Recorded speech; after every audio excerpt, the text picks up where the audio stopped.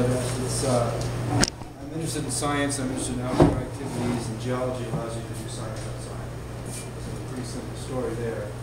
Um, I did uh, a lot of research in Africa when I was in college, and mostly in Kenya and Ethiopia.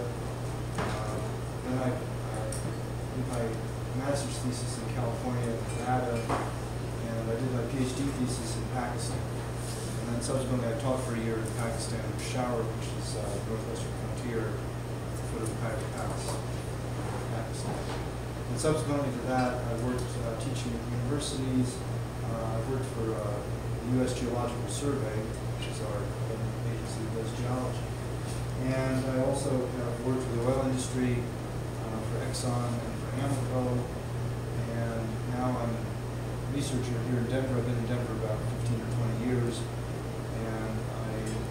Research with the Colorado School of Mines in Golden, in the geophysics department. And I do research at the Denver Museum of Nature Science, which is in Denver. You all been to the Museum of Denver?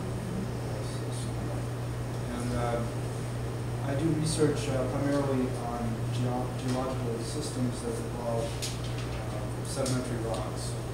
So we'll talking about what kind of rocks involved I work on sedimentary rocks. And I'm particularly interested in resources, and I'm particularly interested in water resources. I work on, water resources. And we'll talk a little bit about that as time goes on. And uh, more recently, uh, I've been very focused on looking at the geological record as it comes into the present time frame. So looking at the recent geological past, and then trying to put our present condition in context. As most of you know, and certainly will know at the end of uh, three hours of indoctrination, there's tremendous changes going on right now that we're very actively studying. Myself and many of my colleagues have shifted our uh, careers to look at what's happening today. So we're seeing astonishing things happening that none of us would have imagined, certainly taught in our schools, and uh, we are just now coming to grips with. So we're all, many of us are focusing our eyes on what's happening, using that as a uh, curriculum. So you, I presume, are going to be interfacing with the public. I'm not sure what you do, but you may be interfacing with the public, and the public will start to be asking questions about what's going on uh, with the landscapes.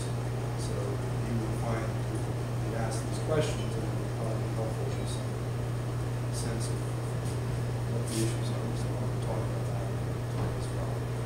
Um, So my, my, my focus really for the evening is to get you started on geological concepts. And I understand there's a field trip coming up in a couple of weeks, so you'll have a chance to walk amongst lots of, how far the best way to learn geology.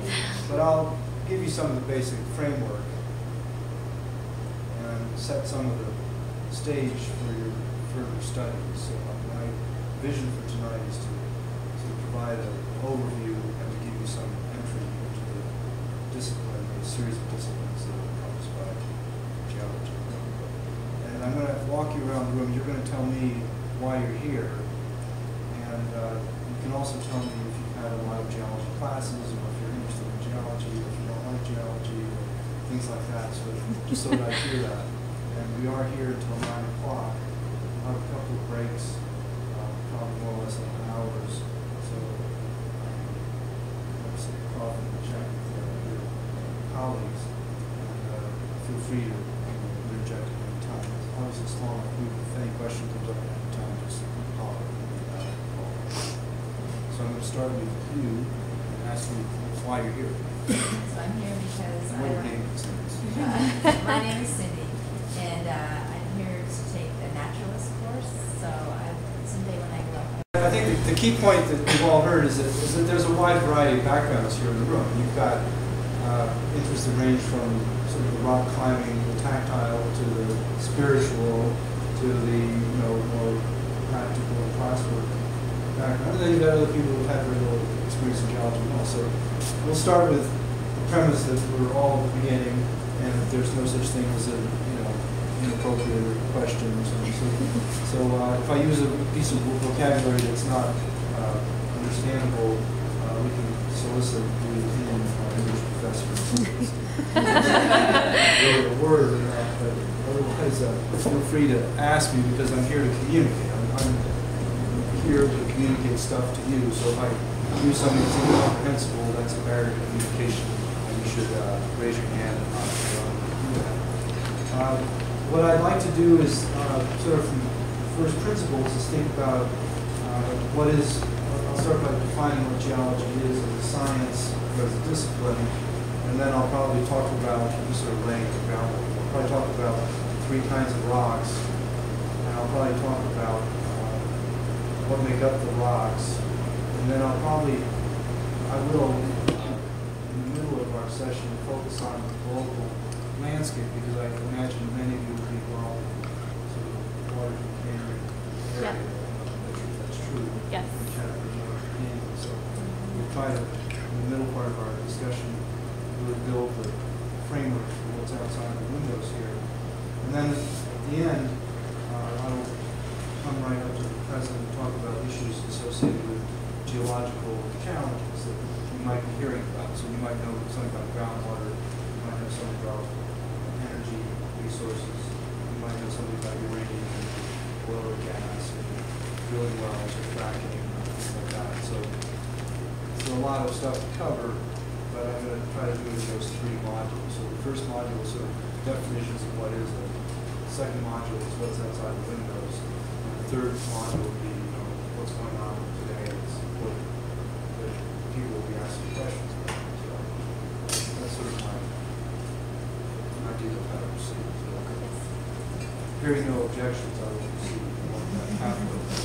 Um, The, uh, there's a lot of things that we think about in terms of the sciences. Uh, We are always amazed by how old the Earth is. The Earth is uh, on the order of four point five billion years old. There's lots of numbers of digits, but four point five billion is a very large number. And it's really one of the hardest concepts for all of us who are geologists to to comprehend, the vastness of time associated with that number. So we come in here, and we bandy around numbers that are billions of years, and it's always challenging for the science student and the scientist to really get a full grasp of the significance of that magnitude of time. So processes that we think of as being very slow, almost infinitely slow, have huge impact on the things that we observe. Just as a quick example, uh, you all know about continental drift at some level, presumably So uh, the Earth is made of a series of semi-rigid plates that move around on the surface of the Earth, and they move relatively slowly. They move on the order of centimeters per year. A centimeter is, you know, it's a small thing, that is a couple of inch, so centimeter is small. Uh, and the, the metaphor for that is the, the plates are moving at about the rate that your hair might grow, or your fingernails. So, you know, things that you can't see in an individual day, a week, or maybe a month, but over the course of a few years, your fingernails grow and your hair grows. And that's the rate at which plates are moving today. And when I was a young student, we were trying to measure with all kinds of laser beams and geometries and that. It was very to measure. It was hard to measure across oceans. Today, we've got wonderful technology that allows us to measure plate motions easily. It's a hand, a GPS.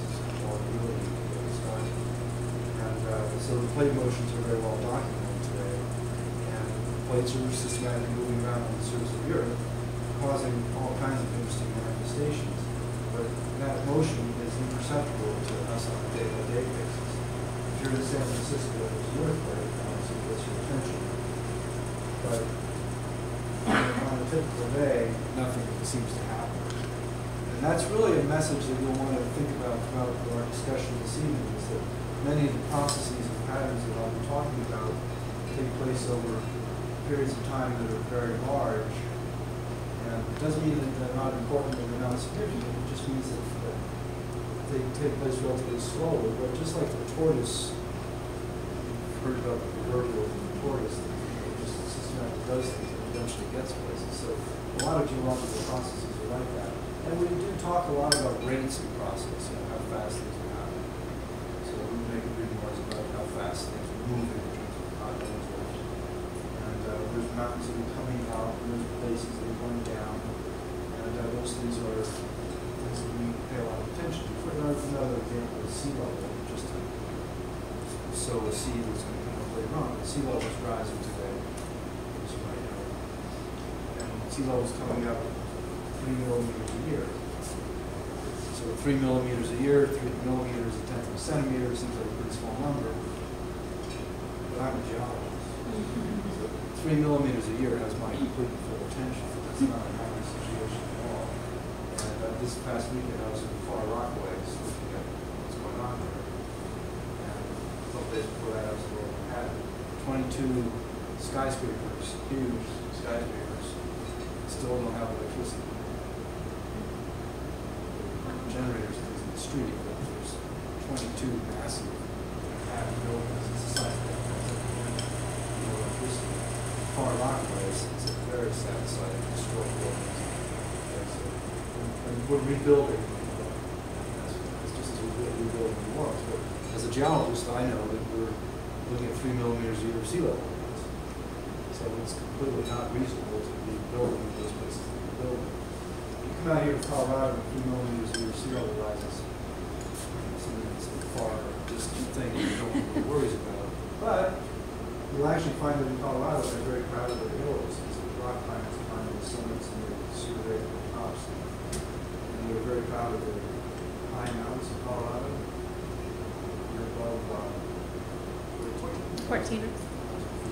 which is high, I mean, it's not, more- I it's unusual high so. But some of those, there's barely. Mm-hmm. Those like fourteen oh one, oh one. And they're still counting, the kids are up there, waiting, I've never seen the kids put these rocks up. And so what, are- what are they measuring that? from?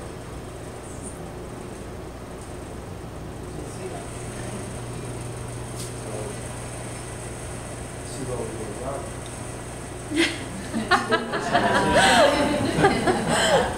We lose fourteen.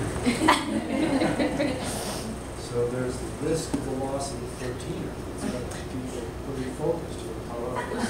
Guys better climb them all soon. So actually, at the rate that the young people are carrying the rocks up to the tops, they're.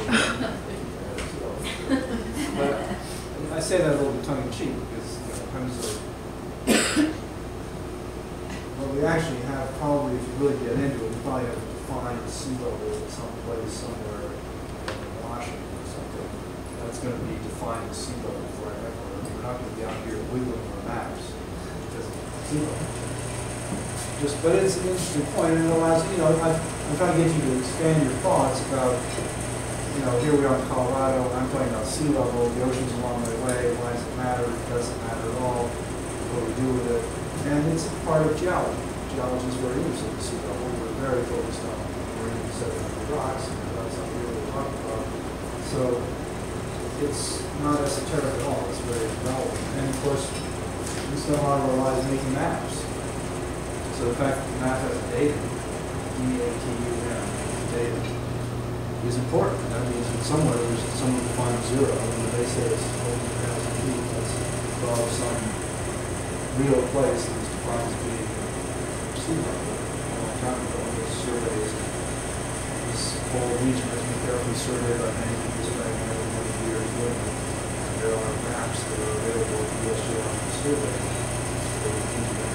So, the U.S. Geological Survey is an interesting resource here, here in Denver, the Federal Center, which is over on Sixth, uh, whatever, Sixth Avenue. It's the Federal Center. How many have been to the Federal Center? The Federal Center is a big deal. It's a big installation, with subterranean bunkers, and so it transfer changes and down stuff like that. It's a joke, you don't really know where chicken.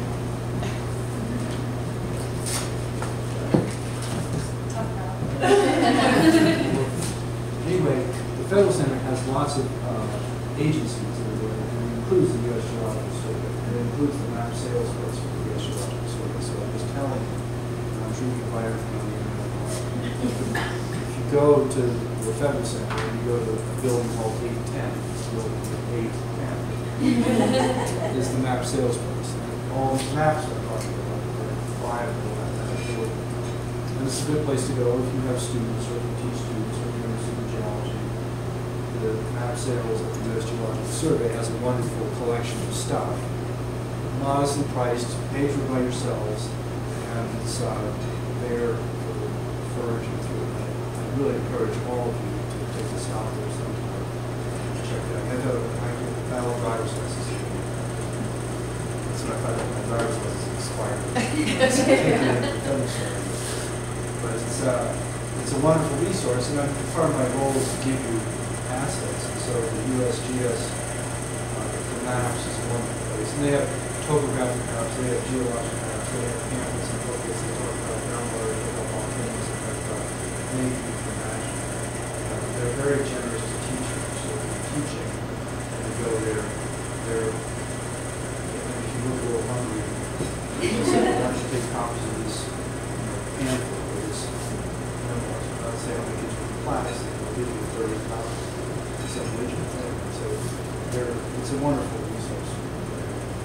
And it employs a bunch of people, there's a lot of geoscientists that are employed there, doing various things, including mapping, including assessing energy, mineral resources, and hazards, and things like that, so there's a lot of things.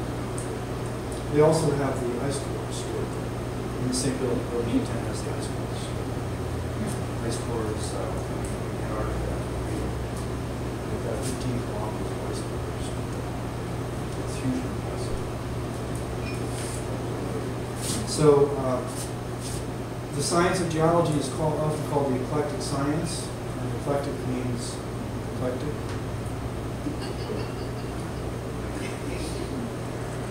Got it. So, so, uh, and that's because if you're studying the sciences or geology, you really find yourself from time to time talking about statistics, some data collection system.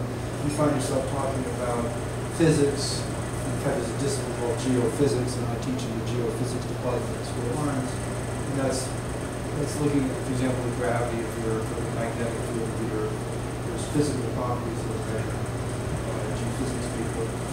Uh, there's chemistry, there's a whole discipline called geochemistry, and there are people who study the chemistry of rocks, the chemistry of water, the chemistry of the interaction between water and rocks.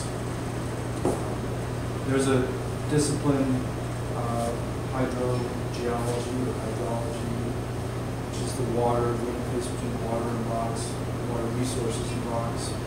Uh, There's people that study mining, mining geology, there's a whole, Denver is a center of mining geology. There's a whole series of little companies, some of them small, but some of them middle sized, based in Denver, that do mining.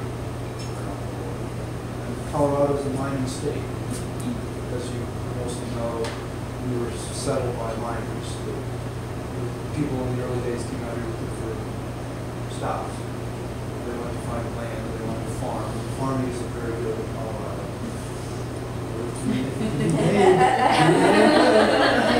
We made good through sweat equity and irrigation, so it can be done. Paonia is place to go work, it's in southwestern Colorado.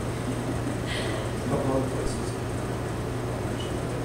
Um, People came out here and uh, one of the things they found was gold. The city of Denver was founded at the confluence between the uh, Cherry Creek and uh, South Platte. So this river out here and that little creek over there where they came together is where Denver was founded. And people came for gold and the sand right there. They found some. They didn't find huge amounts, but they found enough to make it interesting. And then they started going up into the hills, to the village and behind gold, Church Creek, Clear Creek, those creeks, they went up those creeks, and they started finding more and more gold until eventually they hit some of the mother lode veins up in the area around Georgetown, uh, Empire, those that are gambling in town. So that's a- that's a- Central City. Central City and Black Black So as you probably know, I mean, those are mining communities. And mining paraphernalia is still there today, you still see it. And a lot of that is was gold. They were mining gold. They also found silver and copper and lead, zinc. So Colorado has a heritage mining, and there's mining companies in Denver. So we talked about um, geophysics, geochemistry, we talked about statistics, and mathematics, uh, we talked about chemistry of water, mining and resources. Uh, There's a, I can sort of go on and on. We do study volcanoes and volcanologists. We do study rock compositions and we call petrologists, which is petrologist, petrol means rock. um, Latin. So a lot of our vocabulary comes from Latin and Greek. And uh, so, so when we say it's an eclectic science, we really mean it. It draws from many different disciplines, which is part of the fun part about geology. you know. I- work with people that are focused on volcanoes, uh, I work with people that are focused on uh, dinosaurs, I work with people that are focused on uh, fossil reefs, I work with people that are focused on fossil, little tiny things that live in the ocean called foraminifera. There's just a huge variety of people who sort of sit under the earth science. So that's sort of a first thing to know, is that there's lots of stuff in geology. And if you're gonna go out there and venerate and glorify nature, what, what's the phrase, I missed the first, glorify naturalists. Nature's glory or Larry put it so well that it, that it blew me away and then bounced around and fell out. But, but to be fair, the, the science that you're learning tonight, and I hope you'll explore in the future, is really the science of, of what's out there. So as you look at nature, you, know, you step out and you see that there's a shrubbery and there's a hill, well, the geology is the substrate for the shrubbery, and the geology is the foundation for the hill. So as we talk about the rocks and the geology and the science of geology, we're really defining the framework for all the stuff out there, whether it's a bird in the air, or a prairie dog on the ground, or a fish in the water, or a shrubbery growing on the side of the hill, they're all tied to the rocks. So without rocks, you're. Without the study of geology, you're just, you know, you're struggling. So we all come back to that. And I'm gonna, one of the things I'm gonna hand out to you guys, I'm not gonna give it to you now because you tend to read it while I'm talking. We, a few years ago, uh, some buddies and myself put together something called Earth Science Literacy Principles, and this is designed primarily for teaching the sciences, but uh, it's designed to cover on a very first order basis some of the critical subsets of geology. And it does it with a series of what we call big ideas.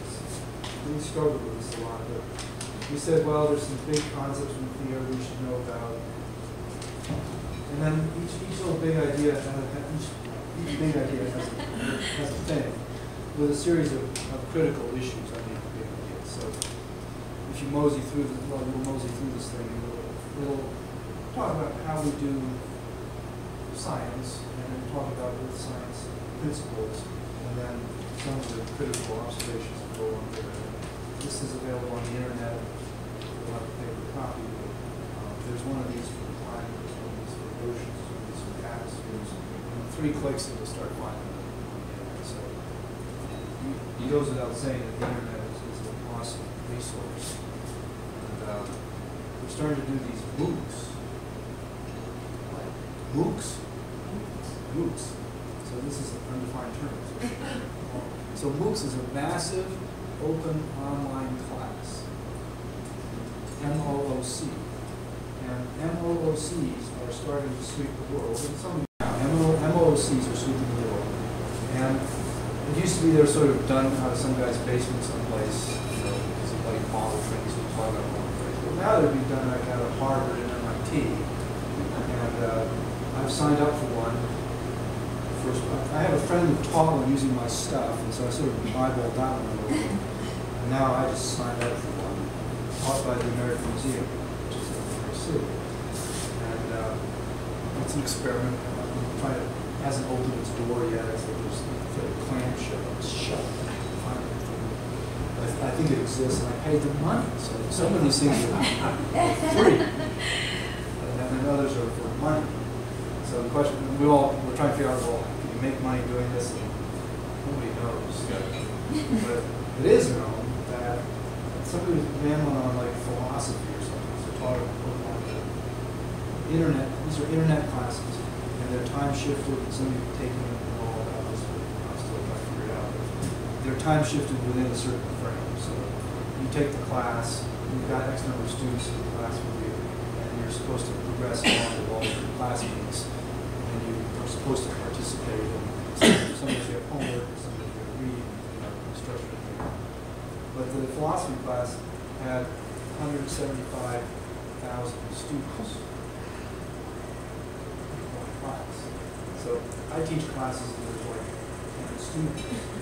And the street, so you like drive halfway across Colorado and teach the class for ten students. And then you wonder, you know, what is that? Of course, they're so inspired to go on and do that. for the world and do it fine.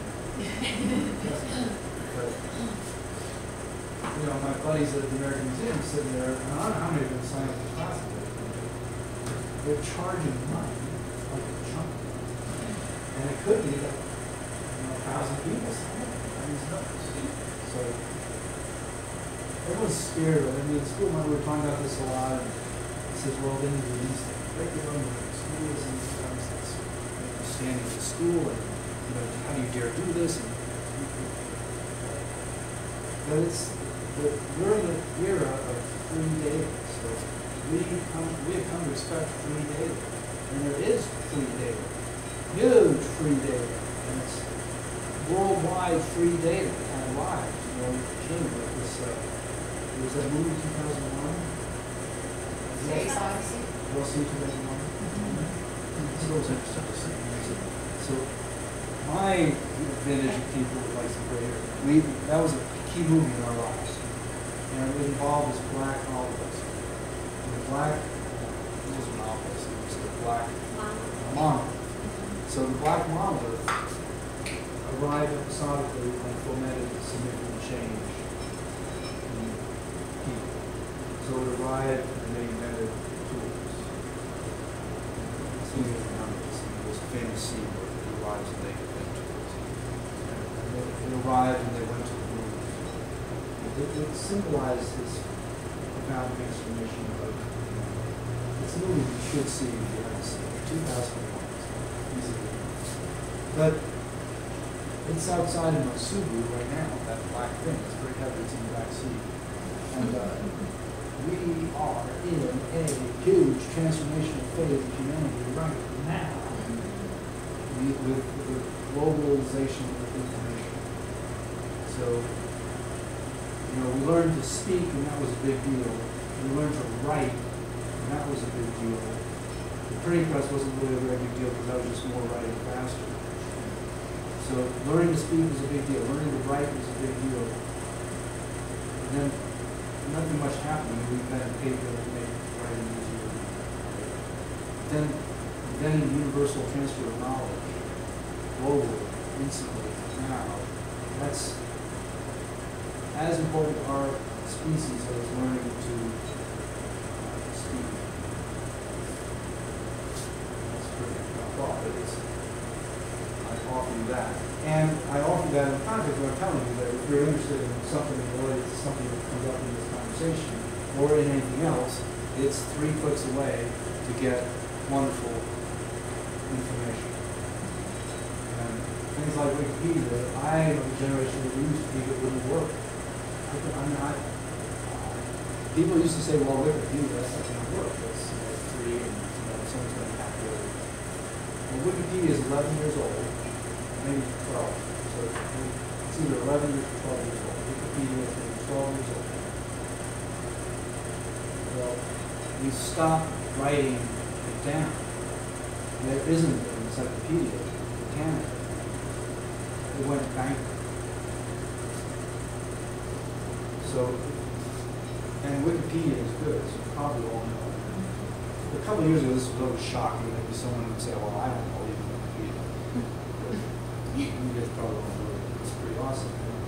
Way you test it is you go into something you know a lot about and you see what's in there. And I've been in Wikipedia, things that I know an awful lot about, and it's right up to speed with this, you know, graduate students in their garages putting stuff in. That was how long it's in there. It's in, there, and it's awesome.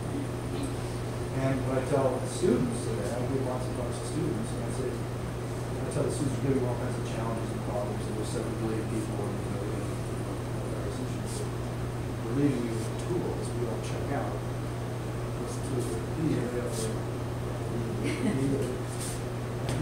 And then I tell the students, so your mission is to not let the cloud go down. Because where's Wikipedia? Right, It's in the cloud.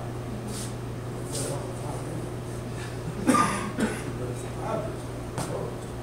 Because the last time we wrote anything down was in two thousand, turn of the century, was the last time we wrote anything down. And the last encyclopedia was about two thousand.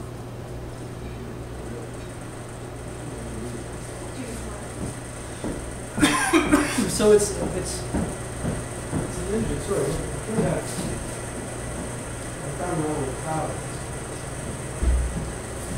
I was gonna cut him off.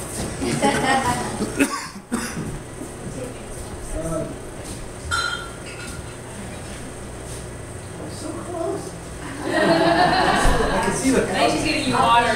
Yeah. Anyway, so, so, um, the cloud is a geology question. Where's the cloud? Well, what, what does the cloud mean? So, you- I mean, it's, it's a question, it's geology, what is, what does the cloud mean? So, first of all, what is the cloud, I mean, we, we talk about cloud, but we're really servers. Bunch of servers. So, I didn't, I didn't mean you to run up to the river and grab it. Yeah. Coffee, coffee. I'm now I'm doubly blessed. Thank you. So, where is the cloud? I mean, you, you should think, the kids are gonna ask you where the cloud is. Right? And they're- Some little kid is gonna ask you, where's the cloud? on servers and computers all over the place. So it's on servers, so where are the servers that are the cloud? On facility management locations around the And world. so why, why is the geologist asking the question? Well, the geologist is asking the question because the servers, of which there's presumably lots of those servers, they need to be kept cold. So the cloud is actually in places that are relatively cold. And it turns out that offshore Norway, this is an example, there's this island that had a World War II bunker for storing torpedoes and they carved it into the rock. And the rock is very solid, very stable, and it's surrounded by very cold water. So clouds and places like that, which put the surface in Norway. High latitude, so you've got the earth, and as you can know and imagine, it's cooler in the polar areas than it is in the temperate areas. So the servers tend to be in the north. It's just so the servers are, you've got them Wyoming, big servers in that. So that's where the data are. Data is. So that's where the data data that you can find on the internet are hiding in are scattered all around the world. And hopefully they'll all, you know, one of them will create something to do. So geology questions can be answered easily by using words that you are familiar with. You know, what is a rock? You can type that in, and it will tell you useful information immediately. So if you're a geology book, and we'll talk, there's a nice geology book over there that I'll talk you about. There are a lot of nice geology books. And for example, in Colorado, one of the most useful ones is that roadside guide to geology of Colorado. that Some of you probably can't see. But the roadside guides to geology of Colorado were written for a lay person, and there are words in there that the words are incomprehensible, just cool.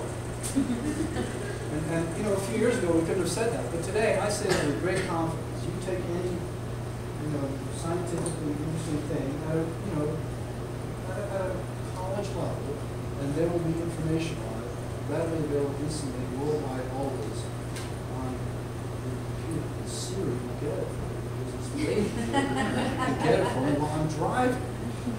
It's unbelievable. What's happening? So, I'm just, you know, just sharing with you what we all do. If we have a question, we go to the resources that are now digital. It used to be you go to a library, find out what it is, and it and that's finished quickly. The kids don't go to libraries. I make a special deal to take the students in school lines, these are like sophomores and juniors in college, and show them that there's a library on campus, because they don't go. Because they don't, really get most of their answers quickly. So, geology is the foundation for what's all around you. And I'm gonna build you the framework sort of from the bottom up and tell you there's three kinds of rocks. You remember that. Those three kinds of rocks are very simple. There's rocks that are born in fire, and we think of those as being volcanic, you know, volcanoes and possible things. We call those igneous rocks. This is a simple thing, but it's elastic. So there's igneous rocks or volcanic rocks, or rocks that have cooled underneath the volcano. So for example, and we might step out the the building, we'll show you some walk. Some of the granite rocks that come down from the hills here are rocks that were molten and cooled slowly on the ground. And they have some of those large crystals in them. And those rocks were born from fire, we call them igneous rocks. So if you think about a volcano, we think about the whole system. You've got the bottom underground, which has the magma chamber, magma, and magma chamber, which is a chamber full of molten rock. And that can cool, giving you a granite, for example, which we have here in the foothills. And then the volcano can erupt, and it produces lava. So lava comes in lots of different textures and flavors, but basically you've got the stuff that's underground cooling, and you've got the stuff that comes out. And the stuff that comes out can also be ash. Be, when we, when we say volcanic ash, we're talking about little particles that up in the air. The airplanes don't like to fly through because of the case in Alaska, where the, you know, the plane that was flying in Alaska, and the cloud of ash, so like twelve years ago, it dropped like, it's been dropped like ten thousand feet. And then, then they got the end of the story. So those pilots were so freaked out by that for them, and everybody else was concerned. It's a pretty deeply dealt in my mind. So we don't want to fly anywhere near volcanic ash. So this thing in Europe, a couple years ago, nobody wanted to go anywhere near that overflow from volcano ash in Iceland. And we have a lot of friends that are you know, stranded in Europe, and they saw summer. The States because the airplanes all shut down. So that's volcanic stuff. The other kind of stuff that's very dear and dear to my heart is sedimentary rock. And sedimentary rock that's moved by fluids. So that can be water, it can be ice, it can be wind, uh, because of another fluid. But if you take like grains of sand and push them around in a stream or in an ocean or a beach, those are sedimentary rocks. So particles are being moved by surface processes. So we can talk about the wind, we can talk about the ice, talk about, and that defines sedimentary rocks. Sedimentary rocks is all seen in the bottom, things like sandstone, made of grains of sand. There's conglomerate made of larger pebbles, conglomerates in this river. Um, There's mudstone or shale, made very fine grained material. There's also limestone, someone mentioned limestone. We We consider limestone sedimentary rock. It's a little bit edgy because it's some, some of it's organic. So for example, coral reefs, coral organisms are secreting calcium carbonate. They're taking in out of the ocean waters and they're making limestone. So what we consider limestone sedimentary rock. It does move eventually by the fluids, but as it's being made, some little critters making it, and it's really kind of wild. We also have salt deposits that we consider to be sedimentary rocks. So to give a little bit, there's some nuance to what I said. So I've got igneous rocks, I've got sedimentary rocks. You can say the salt, if you dry out an ocean, you get a salt layer of salt. Tragically, it has to be moved by fluids, but that's the same. And we've got salt deposits in south in Fort Orange. If you go to Moab, go south of Moab, there's this great big potash plant where they're mining KCl, which is potassium chloride, which is sedimentary rock out of the basin. there's also a lot of salt springs going on our river systems, so there's a lot of, salt springs. So, that's, uh, igneous and sedimentary. The third kind of rock, is metamorphic rock. And this again, a broad category. But when we say metamorphic, we really go to the Greek. What, what does metamorphic mean in Greek? What's the meta mean? Change. Change meta, meta is change. I went to Greece, and when you go to Greece, it's hard to speak, and now I want to speak French, and speak Italian, but go to Greece, it's like, it's hard to understand what's going on. But there's certain phrases that are like completely obvious, so to translate is to metaphrase. It. So when you go to Greece and say, I I need to translate, they say, well, you need to metaphrase this word, well, metaphrase, how obvious is that? So meta means meta, and phrase means phrase, and metaphrase means translate. So metamorphic is a rock that has changed. And by change, here we're talking about, it started out as like as a sedimentary rock, or started out as like a volcanic rock, or igneous rock. And then it's been changed by pressure and temperature. Those are the agents of change that we're talking about. So pressure and temperature, and where do you get pressure and temperature, you get by air.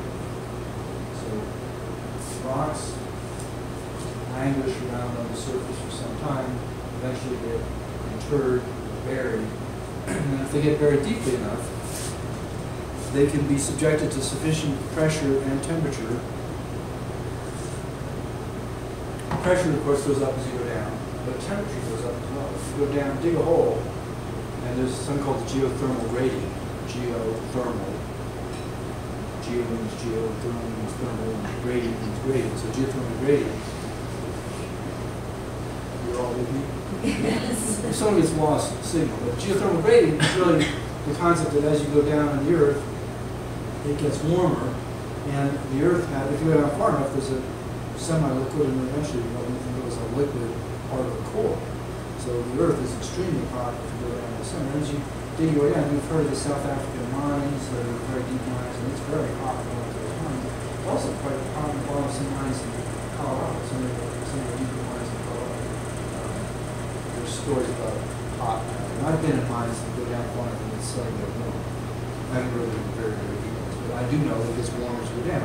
And as it, as it gets warmer and pressure increases, the mineral grains in your sedimentary rock, your volcanic rock, can change. And they can become elongated, they can recrystallize, they can form new minerals, and the changed rock is rock in our own vocabulary here, if you go up into the hills, you'll see there's a lot of granite, which you'll recognize as being the rock that has blue crystals in it. Been to Pikes Peak, is very beautiful granite on Pikes Peak.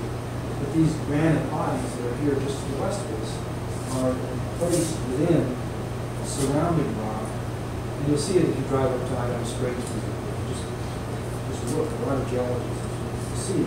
There's all kinds of layered and plain kinds of rock layers, and the granite is intruded, really intruded into these layered and plated rock layers. And the layered and plated rock layers are made of these things called schists, or gneiss. Gneiss is spelled G, G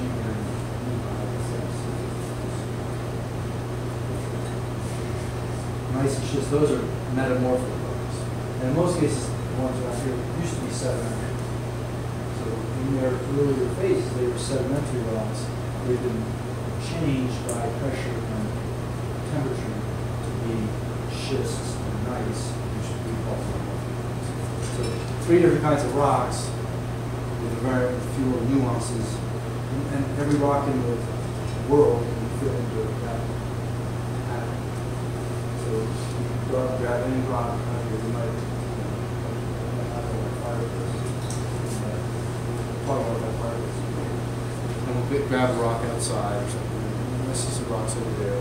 And we can decide which ones, you know, you of the seven, you know, so that's a, that's a good starting point. Kids, all the time, if you're near the canyon, if you're anywhere near the field of view of, of Chatfield Reservoir or Waterton Canyon or the South Nile River, you're seeing sedimentary rocks being wiggle around all the stream. So you're close to sediments, you're close to sedimentary processes that are moving sedimentary rocks, and then the mountains, uh, made igneous and uh, metamorphic rocks. And another thing to think about, and I was it is, in the field it's so hard to the classroom, but the landscape that you see outside is really a result of the interplay between the rocks and the forces of erosion that are trying to take them away. So if we look at the state of or in fact, if you fly from Washington to San Francisco, the lion's share of the land beneath the plane is undergoing erosion. It's sort of an interesting thought, I was- so I studied sediment rocks, and in our country, the lower forty-eight, we don't have a lot of places where sedimentary rocks are accumulated. We, we work on Mississippi River a lot, over the top of Dallas and Fort Worth. Most of the lower forty-eight is undergoing erosion. So like sedimentary rocks that I want to study are mostly being washed away, so I've got to go to special places to find the sediments accumulated, which I've certainly done. But, uh, the state of Colorado being all these high mountains, we're a headwater state. We've got headwaters in Colorado, headwaters in North Platte, headwaters in the South Platte, headwaters in Arkansas, headwaters in Rio Grande. They're all here. We're a headwater state, which I don't have interesting issues with that. But it brings with it the fact that we're mostly eroded, right? So the rocks are eroding, and I, I, here's a metaphor I use. I- carry a pebble in my pocket, most journalists do, and this is a pebble that is made out of uh, sugar. Sugar is a silicon, it's, it's, it's SiO2, so the same quartz, sugar is amorphous, it's not crystalline. And, uh, so it's made a little tiny uh, beads of SiO2. And I often will go, it's such a great school, I'll put the thing on the table, and I'll say, well, what's gonna happen to that pebble? And, uh, kids sort of don't know what I'm talking about, so they say, well, someone's gonna come swipe it. or. I said, "Well, what if no one swipes the pebble, what's gonna happen to it? And kids say, well, it's gonna sit there on the table. And I said, give me some years, and what's gonna happen in ten years? I said, geez, in ten years, who's gonna sweep the table? I said, just, you know, let your mind think about it staying on a table for ten years. But nothing much will happen, let's get on the table. And I said, well, give me hundred years. And then they would start to ponder over it and say, well, what's the school still gonna be here hundred years? What's going on? Probably it's still be saying, well, the table's pretty strong. Probably be on a table in the school still. Then I said, well, I I need a thousand years. And it's a good exercise to think, in a thousand years, that pebble, if I just left it there, I'm gonna drink my coffee. But if the pebble were still there, this building's not gonna be here in a thousand years. I don't know very many things, but I know that this building will be here. Windows will crack, roof will cave in, you know, you'll renovate, you'll get a massive grant, you know. all the- building will be, so that pebble's gonna get smushed, you know, let's say the roof falls in, which can happen. Pebble will be smushed, the chairs will fall apart, know, glass will break, words will be. And if I give you more than a thousand years, I say, well, what about ten thousand years? Then you've really got to say, well, geez, you know, this, we might not have water on anymore in ten thousand years, it's, humans might have vanished, and water or something. But So, but that pebble in ten thousand years, building would have fallen in, sort of a wreck of a building, the South Platte's washing back and forth a little bit. And then it might have got, might have been touched by the South Platte within a thousand years. I'm not gonna give you ten thousand years, that sucker's gonna feel the South Platte. And give me a hundred thousand years, and that puppy's starting to travel down the South. It's made out of chert, it's not gonna come apart. It's one of the most durable pebbles, I know from many, many pebbles experiences. That's not gonna go like, so a hundred thousand years, a million years, where's that pebble going? Houses are over too. House of Rising Sun. They wrote a song about it. Didn't they write a song about that? Tell your children not to do what I've done or something? Oh, yeah. So that thing, you know, in a million years, if I left it there, it's gonna get into the South Platte River, The South High River is the next river, they're gonna take it downstream. Downstream from the South Platte is the Mississippi River system. So if I just put that thing there in the, it's gonna go into the Mississippi, it's gonna go into New Orleans. Which is so that's. So, so absolute certain, if I leave that pebble there, it's gonna go to New Orleans. So, and I, you know, I might take it plus time and try to give a chance to go to the bottom. I've traveled this pebble for a long time, I've given it many options, but it keeps staying in my pocket, so we'll see where I it. But the point to be made is that the forces of erosion that are seemingly slow, any given day, not much is happening. But over geologic time, there's a huge amount happening. And the landscapes that you see outside, every piece of the landscape, there's nothing random about the landscape. The landscape is the interplay between the forces of erosion, which in our world here, it's rainfall and some ice here and there, freeze thaw, rivers moving and some wind blowing. Those forces and the resistance of the rocks. Very simple way to think about it, the more resistant rocks, are resistant, when I say resistant, I mean strong and holding up. So the resistant rocks are going to be the granite, the metamorphic rocks characterize the front. The less resistant rocks, the more easily eroded, are going to be the sedimentary rocks, particularly the mudstones, as you might imagine mudstone, sort of, name implies that they're easy to erode. Um, some of the sandstones and and shales. So when we look at the front range in general, we're looking at an area that's got resistant rock to the west. It's making of mountains, metamorphic used rock, much of it very old, on the order of one point four to one point one billion years old. So very old, igneous metamorphic rock define the western landscapes in this time. And then as we come into the Denver Basin, that region has bedrocks, Rossville, Dinosaur Ridge, Dakota Hogback, coming out into the sedimentary rocks. The sedimentary rocks are more easily eroded. And when we get a ridge in the sedimentary rocks, like Dinosaur Ridge, or like parts of Roxborough, it's because the sedimentary rocks are more resistant those particular sediments. You have layers of sedimentary rock that are tilted up against the west edge of the Denver Basin. The resistant ones form ridges, albeit not as ridges, because they're eroded, but they're ridges.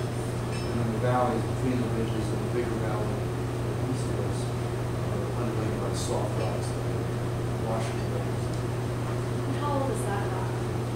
So there's a range of ages. How old is that rock is the question. The bedrock, so-called bedrock, granite is one point one, one point four billion years old. As you come east, the rocks get younger. We're on the edge of a basin. And I'll maybe bring this, a bit of a break here.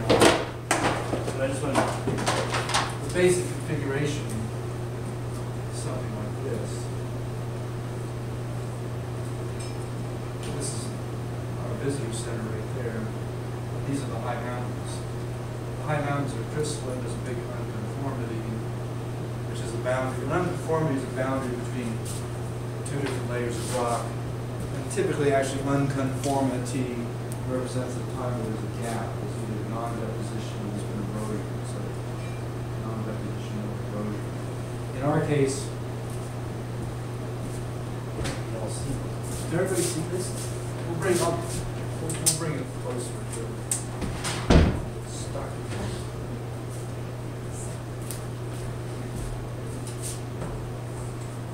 Who can carries these bugs? I know. So what's the name of the bug? What's other ones?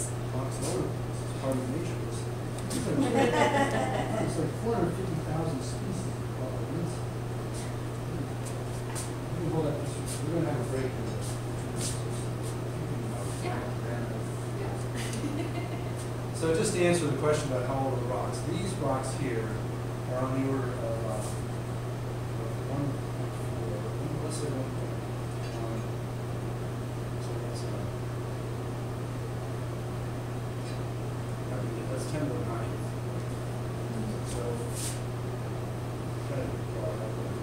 they're on the order of, of thousand million years old. Thousand million. That's a billion. So that's very, but then these guys here, if we come up to the sedimentary rocks that are just to the west here, and to the west of Dinosaur Ridge, those would include things like we call fountain formation, not the special name for rocks, fountain formation, and it's on the order of three hundred million. Just one of those. We we all fuss about three hundred million.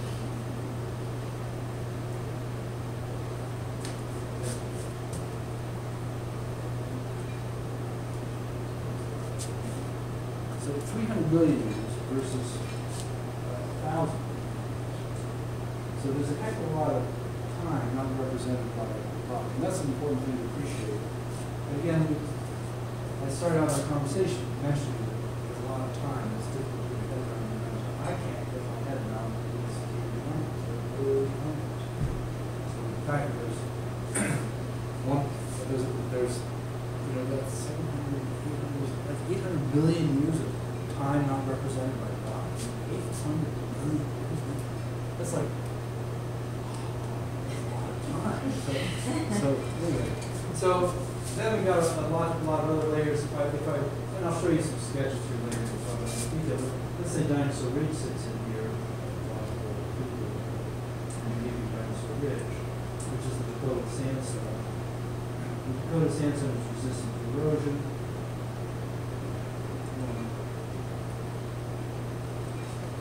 And uh, Dinosaur Ridge has footprints on one side and bones underneath it, and Morrison Formation on the other side. Again, just to come back to your question, old are rocks? The Morrison Formation is on the order of 140 million years old. And the footprint area is on the order of 100 million years old. So, uh, 300 there, about 140. To, to give people an example, because when I, when I hear the word Morrison Formation, it doesn't mean much to me, that is the red rock, correct? Morrison formation is the red rock. Well, uh, yeah, I always say yes and try to please you, no.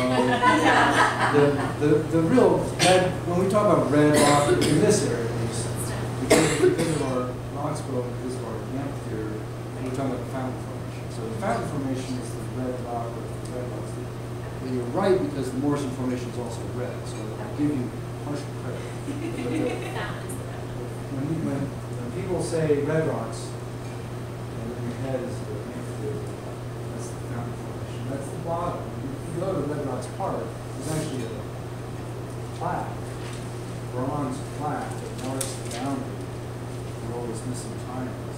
So you put that by the Colorado Scientific Society, and then Association of Zones, marks that river, and it's, up- it's up near the parking lot. near the top of it. So the red rocks are the fountain formation. The Morrison formation is younger, but it also is red. And then the Dakota sandstone sits on top of that, so a hundred and years old. And then if you come out, you know, into the Denver Basin, there's some hills. And I'll give you, if you go far enough to the north, there's something called Green Mountain, there's something like that, it's just behind Denver. And the top of Green Mountain is about sixty-one years old. So that's, and you'll see it's getting younger as you go. So let's, we'll we'll take a five or six minute pause right now. I just want to recap where we got to. So we got to there's three different kinds of rock. You all know that. You know certainly about the genesis of those three different kinds of rock. And then you also know something about the significance of the three different kinds of rock in the sense that it's resistance to erosion has been modulated the landscape. And you also know that if you were to type in three kinds of rock, or if you type in granite, if you type in sedimentary rock, will be deluged by stuff that's very worthwhile. So any questions that you might have, obviously go to the textbook, which is a nice way to do it, but if you have any questions, just ask Siri, which will type it. While you're driving, you will go to So, take, we'll take a break, and then I'm just gonna, do for navigation purposes, I said I was gonna talk about, um, generalities, and what am I talking about in the middle? The Chatfield Basin. So, so, so our idea was, let me put an outline here, sorry, That's okay. just to keep us all on track, I'll, I'll remember. So, this is the basic frame. And then two is what's out the window, so so what's out the window. And then three is issues. That's it. So each one of these is about an hour when it comes to the first one. Questions before we take this second? And I encourage defensive eating, I see you doing this. Defensive eating.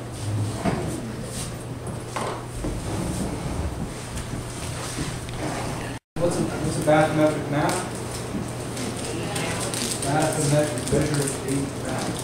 So if you look at measure deep maps of the uh, Gulf of Mexico, which are bathymetric maps, we can see traces of distribution, distributary systems that go out from the Mississippi Delta hundreds of kilometers. up the Gulf. Whether it goes all the way to Mexico or not, I don't think it's, there's a sixty deep that stops in the, the, the sediment goes along with it.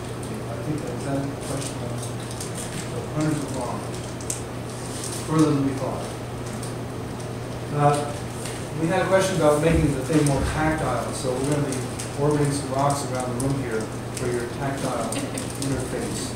And, uh, people learn by touching and by seeing and by hearing and by, uh, speaking or something. So I used to know. There was a time when we thought that. And, uh, so we went out and fossiled. Your management went out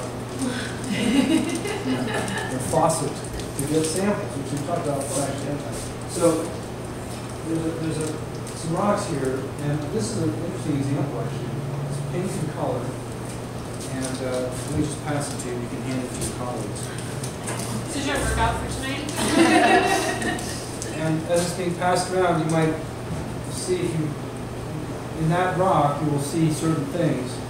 And what you're really gonna see is, is crystals, if you look closely enough, you see it's got crystals in it. And some of the crystals are fairly large. And, uh, some of the crystals are smaller, it's actually a blend of two different phases. Uh, the pink rock around here, that looks like that, is called, granite. so granite. So that's, again, that's a term that I don't think is unfamiliar to you. They make it into, into tables and things now. So if that rock would be sliced to make a very nice kitchen countertop, example. If you go to Pikes Peak, just to give you a place where you can go and see all what's out there, that granite is the granite of Pikes Peak. It's one point one billion years old. And that particular specimen has a couple of different flavors of granite in it. And the, the thing that has the bigger crystals has intruded into the thing that has the smaller crystals. So there's two phases of granite. One will be fine grain, one will be coarser. In our speaking about it, we say that the coarser grain want to cool more slowly and have bigger crystals. That's the way we think about it. Uh, If you look closely at it, you'll see that it's made up of minerals. Minerals are made up of elements. The minerals that that thing's made up of are really not very many. If you really got after that piece of rock, you can start to actually see it, if you look at it closely. The pink stuff is feldspar, it's kind of an mineral, it's feldspar. It's a, it's a silicate mineral that has potassium in it, so it's potassium feldspar, which is the pink. The gray in there, or whitish stuff is gray, is quartz. And the quartz is made of SiO2, which is the same as the pebble. So the pebble pocket is made of the same stuff, that white, looks very different. Silicon SiO2, silicon dioxide, that's quartz. And then if you look further this, the quartz and feldspar make up the lion's share. But if you look more closely, you'll find there's some mica in there, which is a flaky, uh, thin mineral. And there's probably some little of hornblende. And that's, and there's the black mineral. And that's about it. If we really ground it up, we might find that it has a little bit of mineral called apatite, it might have a little mineral called it might have a little mineral called zircon, but they would be trace amounts.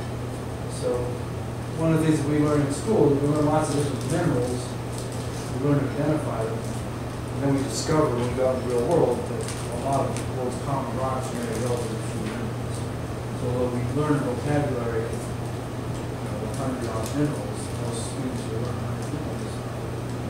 When you're really out in the field, commonly there's a dozen or so that occupy most of your attention. A little bit Uh, we have another kind of rock. This, this rock is granite. It's often, because it's an intrusive, it intrudes into the ground. It's, it's, mol- it's molten, so this is the bottom of the volcano. This sort of erupted on the surface, granite. And it intruded into material that like this. We have got two specimens, we pass one on this side, one on this side. Darker rock, um, it's got, if you, if you glint it in the sun, the sun shining, you see it's got a lot of mica in it, which is like flat plate mineral. And these two rocks that are passing around now are examples of metamorphic rock that probably started to rise out of sedimentary. They probably were sedimentary, I can't be too certain, but they're probably sedimentary at the outset. They've been completely recrystallized. Uh, A lot of mica, again, hornblende, as I said before, the numbers of hornblende, there's a lot of hornblende in that. And that's a silicate mineral that is characteristic of metamorphic mineral. We find a lot of, black colored mineral, so a lot of black color is black mica is called biotite. And so these are both examples of metamorphic rock. And you can sense that they're, they're pretty hard. You drop one of those suckers your foot. Sorry, so, and if you wailed one with a hammer, you wouldn't get very far. So these are examples of very resistant rock.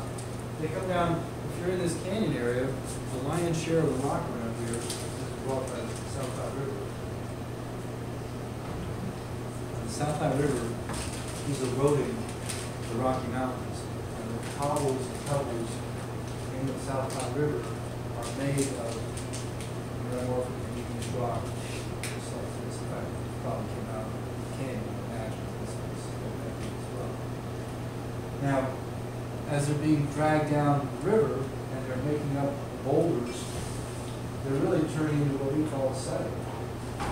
So that stuff out there that's being transported out towards the city of Denver is sedimentary material. So the sedimentary material is made up of igneous and metamorphic that have been plucked from the mountains by the forces of erosion. So remember erosion. And then, again, we'll say, well, geez, those things don't move very far, they move very fast, but if you were to sit here long enough, 1965, I think it was here 65, that was the honking big flood that came through the Plum Creek system. Not only flooded right here, but flooded Denver badly. And you can still see the scars down by uh, Marksburg from the flood of 65. Wiped out all the bridges in Denver, it was a big deal, and it came from a rainstorm that caused this episodic flooding in Plum Creek. And because of that rainstorm, we built Chatfield. So Chatfield was built, originally it was water, drink, Chatfield is a flood protection device for Denver.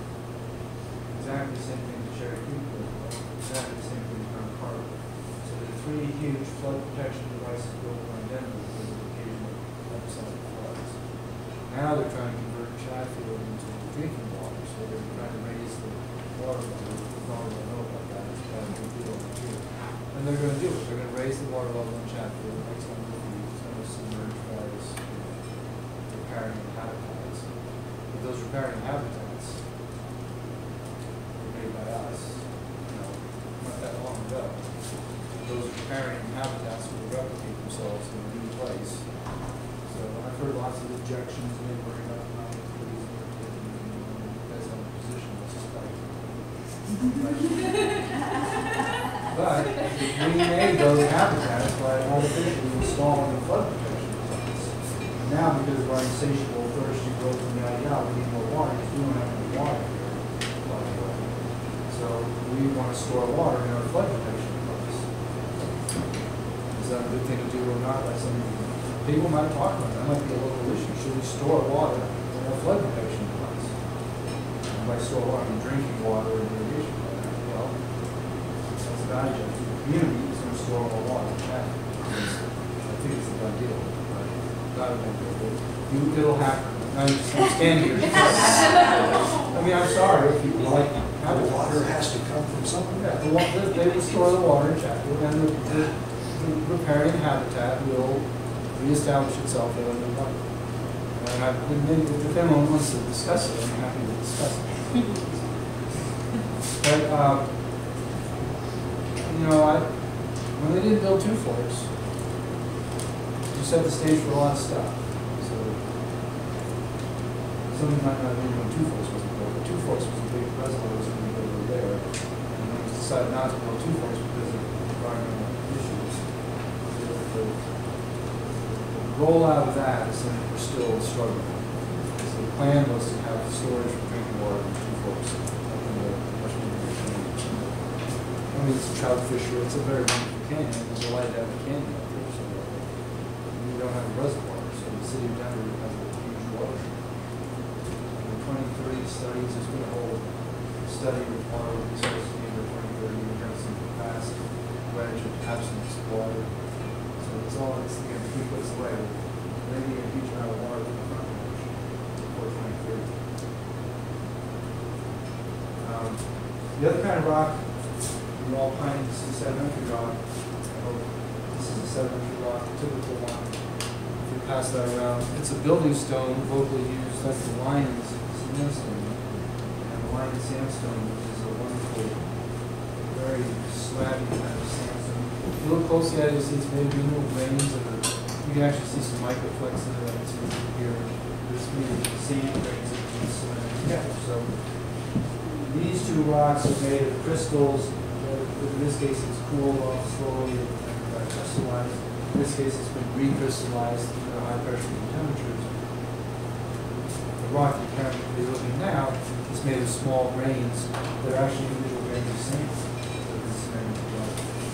And They're inspecting the fireplace, which is a very beautiful example of a stone-filled fireplace. And it's an unusual rock, and that, that rock is most likely to be a limestone. And I am s- squeamish because I don't have, the test for limestone is you drip hydrochloric acid on it, see if it fizzles. And I don't have any hydrochloric acid, so I can't do the key test. But I'm pretty sure that that's limestone. And we saw some little bits of bedding in it, and we saw some places, it looks like it's got little bits of fossil there. So those of you might look at it, maybe there's a somewhere, maybe that's somewhere. But that is probably seventy rock as well. I reserve local judgment for this. So, not that full tools to look at. But Certainly the rock we're handing out, this is a common building stone in Denver. You'll see the flagstones on the streets of Denver are made out of uh, Lyons sandstone. A common building stone. It comes from quarries up by the town of Lyons, named for the town of Lyons. And uh, it's uh, a good example of wind deposited sandstone. So I've said the fluids move, that's caused by wind. And if you go into the quarries up there, like Masonville, you know, from that area, you can actually see them peeling back the layers, and it looks like they're mining the sand dunes, which they are doing, they're mining the sand dunes, making slabs. So, you'll see this when you, when you're outside with Libby or Louis. Look closely at the stuff that comes out of the canyon, and you see the, the igneous and the ortho rocks. And then if you look at the ridges, south of here down by Roxborough, north of here by Red Rocks Park and Anderson Ridge, you see the. So you live with these rocks all around. The diagram I handed out, it's sort of a fun diagram. It's been used by the USGS, and I'll just explain it briefly. This is an introduction to some of the further discussions here. It's just an east-west, it's a schematic east-west cross-section. And uh, it's been around for a long time. It's in gray literature, because it's never really been formally published. It was produced by from the USGS many years ago. I've had it copied. This is now on Illustrator. and, But it's got the various rock formations that are in this area. Uh, the- The specific line of section has Green Mountain on it, so it's really up by, more up by Golden, up up in Denver. But you could use this rock up and down the front range, going this side, up and down the front range, and it would fit pretty well. West is to the left, and east is to the right. And it's a slice of the earth. If you were to slice the earth, you see something like this. And it's got a couple of different things about it that are a little squirrely. Um, Number one is the scale, just to talk about it. The thickness of the rocks have been slightly modified from reality because the, the green in the middle is so thick that if you showed it at true scale, you'd have a very thick green thing and then very thin stuff below it, very thin stuff above it. So they've artificially thinned the green, so, you know, that's been done. It says it somewhere on that the layer that's eight miles thick? It's not eight miles, it's, it's, uh, it's a mile thick. Mile.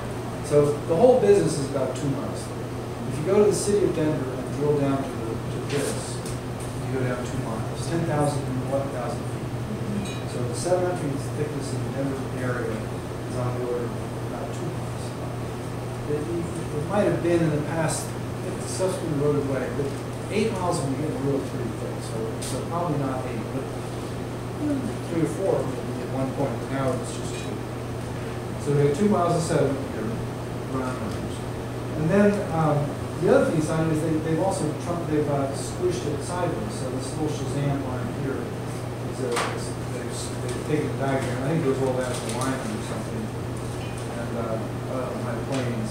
So to do that on one diagram, it took a little bit of artistic license.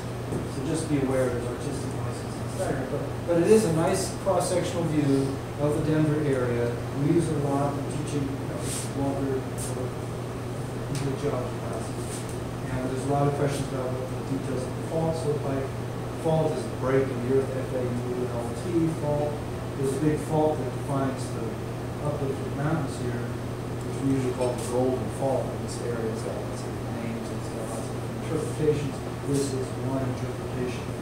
But somehow or other, the the west get lifted up and shoved up into the air and, and created uh, a basal area in front, in front, which fill up the young sediments. The top, the other part, of the yellow stuff filled in as the Denver area subsided. We call it the Denver Basin, literally a basin you can wash your face in. So I studied the Denver Basin, the sediments of the Denver Basin, really the upper part of the system here. And the Denver Basin formed and filled as the Rocky Mountains went. So before the Rocky Mountains went out, there wasn't a Denver Basin. And so if you take this diagram and think about it a few times, if you undo this fault, break here, you pull that back to before the Rocky Mountains are here, and you've got a big pile of sedimentary rocks across the landscape. So before the Denver Basin here, you, know, as you study geology, you learn that rocks contain a record of the evolution of the landscape, and geologists interpret the landscape based on the rocks. So we study the distribution of different kinds of rocks and read the, uh, the history of the landscape. So some of these stories that I tell about things that happened in the past are based on reading the rocks. And the, the geologist is someone who has learned to read the record of rocks, rock record, that's what we say. So the sedimentary rocks that we have here are a wonderful story that the rocks at the bottom of the pile is the fountain formation, that on the bottom is the fountain formation. We talked about the fountain formation. Uh, we've got a little book we put together a few years ago that's for sale here. I'm a very modest person, I'm sure. It's hard to find at the Denver Museum, unless you find it here. We, we hired a painter to paint what we thought the landscapes were. And you'll see it,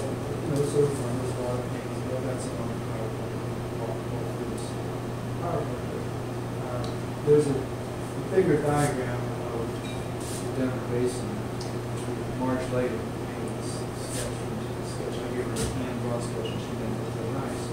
But this here is essentially this. So I'd encourage you all to buy a copy of this, or at least have access to it here as a reference. And then We have see- this in our library too, that you're certainly welcome to. I think it's all five dollars. Should make it mandatory. You know, this book I'm taking, there's two books that the guys wrote, they, that I, my tuition covered. So not only are they, they're raking some money for the museum, but they're selling their book. You know, it might be a hundred thousand people take the the class, and that'd be a lot of books being sold. I have to offer lots. I have to offer books, so, so five bucks a buy the book, and it's not a print. Try. Anyway, this is what the Denver Basin would look like, and this is done at the correct scale. So FYI, it's, it's correct, the, relative thickness, you can see how thick that green is on this, it's a lot thick- thicker portion than the green here. because I made it right. And, and I based it on a well that was drilled over the Rocky Mountain Arsenal. Famous Arsenal well, something like the Arsenal, used to make sarin gas outside of DIA. Then we decided it was a good idea to have sarin gas around, so we pumped it into the ground at very high pressure. We drilled a well to, to the bank, underneath the airport. And we pumped sarin gas under very high pressure, we started making in the nineteen sixties. A very famous case in the USGS, we go down and took, and I didn't know we could make earthquakes. What it did is it it the fluids under very high pressure into fractures that were in the granite, and it lubricated the fractures when they shifted a little bit. And That made earthquakes. And the well was extremely carefully documented, because they knew they were drilling a very deep well. So we've got that well there, and that well there made this diagram. And we made the diagram probably we were drilling a little, uh, in Ohio, we drilled a little this in two thousand foot well, uh, twelve years ago in Ohio. It was very exciting for us at the museum. The diagram was based on the documentation. Bob, can you just really quickly, in case people don't know, what, what causes a fault line to occur, what that is? Yeah, that so- line of the- Yeah, good question. No, actually, good question. So there, there's the fault line, and so the question is, well, why did that move? You know, what made the Rocky Mountains lift up? And, and actually, we've got to the bleeding edge of knowledge.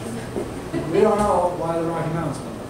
We've got some ideas, but, and it certainly has something to do with regional plate movements. So the standard story that we say is that the plates were coming together, there was plate under the Pacific that was going underneath the North American, we call it subduction. There was a slab underneath Western North America, which there still is up in the Pacific Northwest. So the Cascade volcanoes are there because there's a subduction slab, lot of the plates going down. But before the San Andreas Fault was there, the Pacific plate was going underneath Western North America, and we speculate that at one point in the time, it went down at a low angles. The story here quickly given is, uh, Do you want a different color? I'm just gonna erase this. I'm gonna quickly draw. Yeah, you do.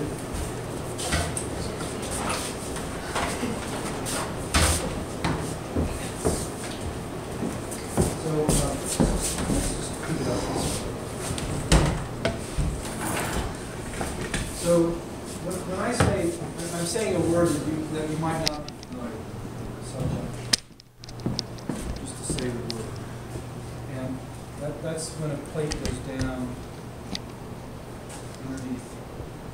And and literally in California today, if, if we were to, here's the ocean. And, uh, that's the land, and here's the land. And th- there's, now, in, in California today, there's a fault, San Andreas Fault, you know, but if we go back in time, the Pacific plate was going down underneath California, there were volcanoes here. Sierra Nevadas, you did the Sierra Nevadas, Yosemite and all that business. Yosemite is made of, what's this rock? Yosemite's made of granite. The bowels of the volcanoes are there. It's Jurassic in age. The Jurassic granite, the Sierra Nevadas are the batholiths. Batho, bathy means deep. Lith means, what's lith? Lithologic, lithology, lithosome, lith, lith. What's the story? Lithographic, what is lith, lith, lith? Lithology, lithics, archaeologists talk about lithics. Means lit. So it's from the Greek, I suppose, but it- it's rock, so lith means rock. So lithology, lithics, batholith, what's batho? Deep rocks. Deep rocks. So this is deep rocks, man, this, acu- this formed under a kilometer or more, you have big crystals, there, that's a kilometer plus deep, several kilometers. So these are batholiths, the bottoms of the volcanoes that used to be in California, that make now this area. So this thing goes down, and it melts, and you get these blobs of stuff that rise up. That's why you get volcanoes. This is the standard model for the certain Pacific Ring of Fire, Guatemala, Peru, Philippines, Japan, Kurile Islands, Kamchatka, the Aleutians, the Cascades, Mexico, Guatemala, and just rule around the Pacific, that's what's going on. This is called subduction, that's subduction. Uh, We think, and we come to the, a long way around, coming, but we think that from time to time, for reasons that are not understood, subduction makes shallow subduction. This is not understood. And this is kind of, we really are wondering about this. There's lots of graduate students right now working on this right now. We need to cut this out.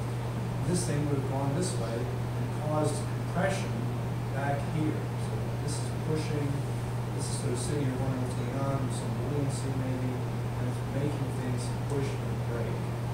The theory for the evolution of the Rocky Mountains out there right now is they formed because of this process of shallow subduction that went on during the Cretaceous age of dinosaurs. And the way it's locally manifest is with a F-A-U-L-T, which is a fault. That's a break. So we think that the Rocky Mountains came up because of compressional deformation due to some enigmatic form of subduction in the about 60, uh, 67 million years ago. Locally, 67, 68 million years ago. And it locally resulted in this fault. And that fault would have been a big honking with earthquakes and, you know, drama back in the age of dinosaurs. Today, it's dead as a smelt. That fault's not moving at all. So we can find it, drill down to it, and we can see it on seismic lines, but its geometry is still somewhat poor. It is poor. It's, it's poor. And its genesis is somewhat poor. So, I mean, it's an interesting thing to tell you that among the things that we don't understand in earth sciences is the evolution of the Rocky Mountains. We don't understand the evolution of the basin and range very well either. So North America has two of the greatest mysteries in geosciences right here at your door. If you could motivate some small neighbor to get after it, if I can live long enough for that neighbor to get to the school and tell me the I'm waiting. I've been trying to get these children to get the answer for years, I'm still waiting. But every day I wake up and read the paper and see if someone's got the answer. They'll figure it out, someone's gonna figure it out, and maybe it is shallow subduction. This is coming from South America, a friend of mine, a classmate, figured out that it's in, in uh, Argentina, this is happening right now. Shallow subduction, the Sierras Pampeanas near Mendoza, those are in Argentina. Uh, It's, it is doing this right now, but it's not as far away from the plate margin. So in Argentina, it's, uh, it's relatively near the end, but east of the Andes, in Argentina, today, there is a place where there are mountains bursting out of the ground, and there's shallow subduction going on. So we use that as a model for what might have happened here. And that was uh, Terry Jordan, Teresa of mine, figured that out as part of her PhD thesis in the seventies. So how do we know that we won't start moving someday and Great Mountains here? Ah, we've, we've ended now. Um, right now, the plate situation is pretty stable. We've got a nice stable San Andreas fault. So there's no, if we were to run the plates into the future, which we certainly do, if we run plate tectonics into the future, the San Andreas fault carries a big sliver of California to the armpit of Alaska. Kind of. But it is, there's no immediate need in the geometry of the system to develop a subduction zone now, uh, Pacific North. Uh, Once that thing wedges up into the armpits of Alaska and the plates reorganize a little bit, it would be reasonable to say, well, someday the plates will reorganize and have another subduction zone in California. First thing it's likely to do is to be a normal subduction zone and have volcanoes in the Sierras, which would look like the Andes.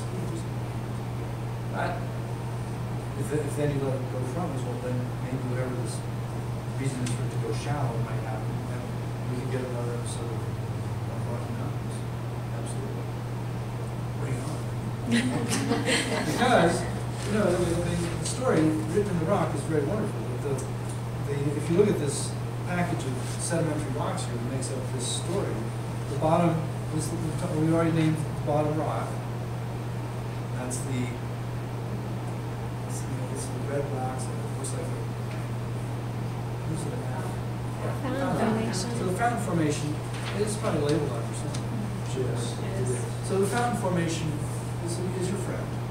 Uh, it looks like, it's a, it's a red looking sandstone, like, it's similar. It's a- And the fountain formation, if you get after it, is three hundred million years old, this was written here somewhere.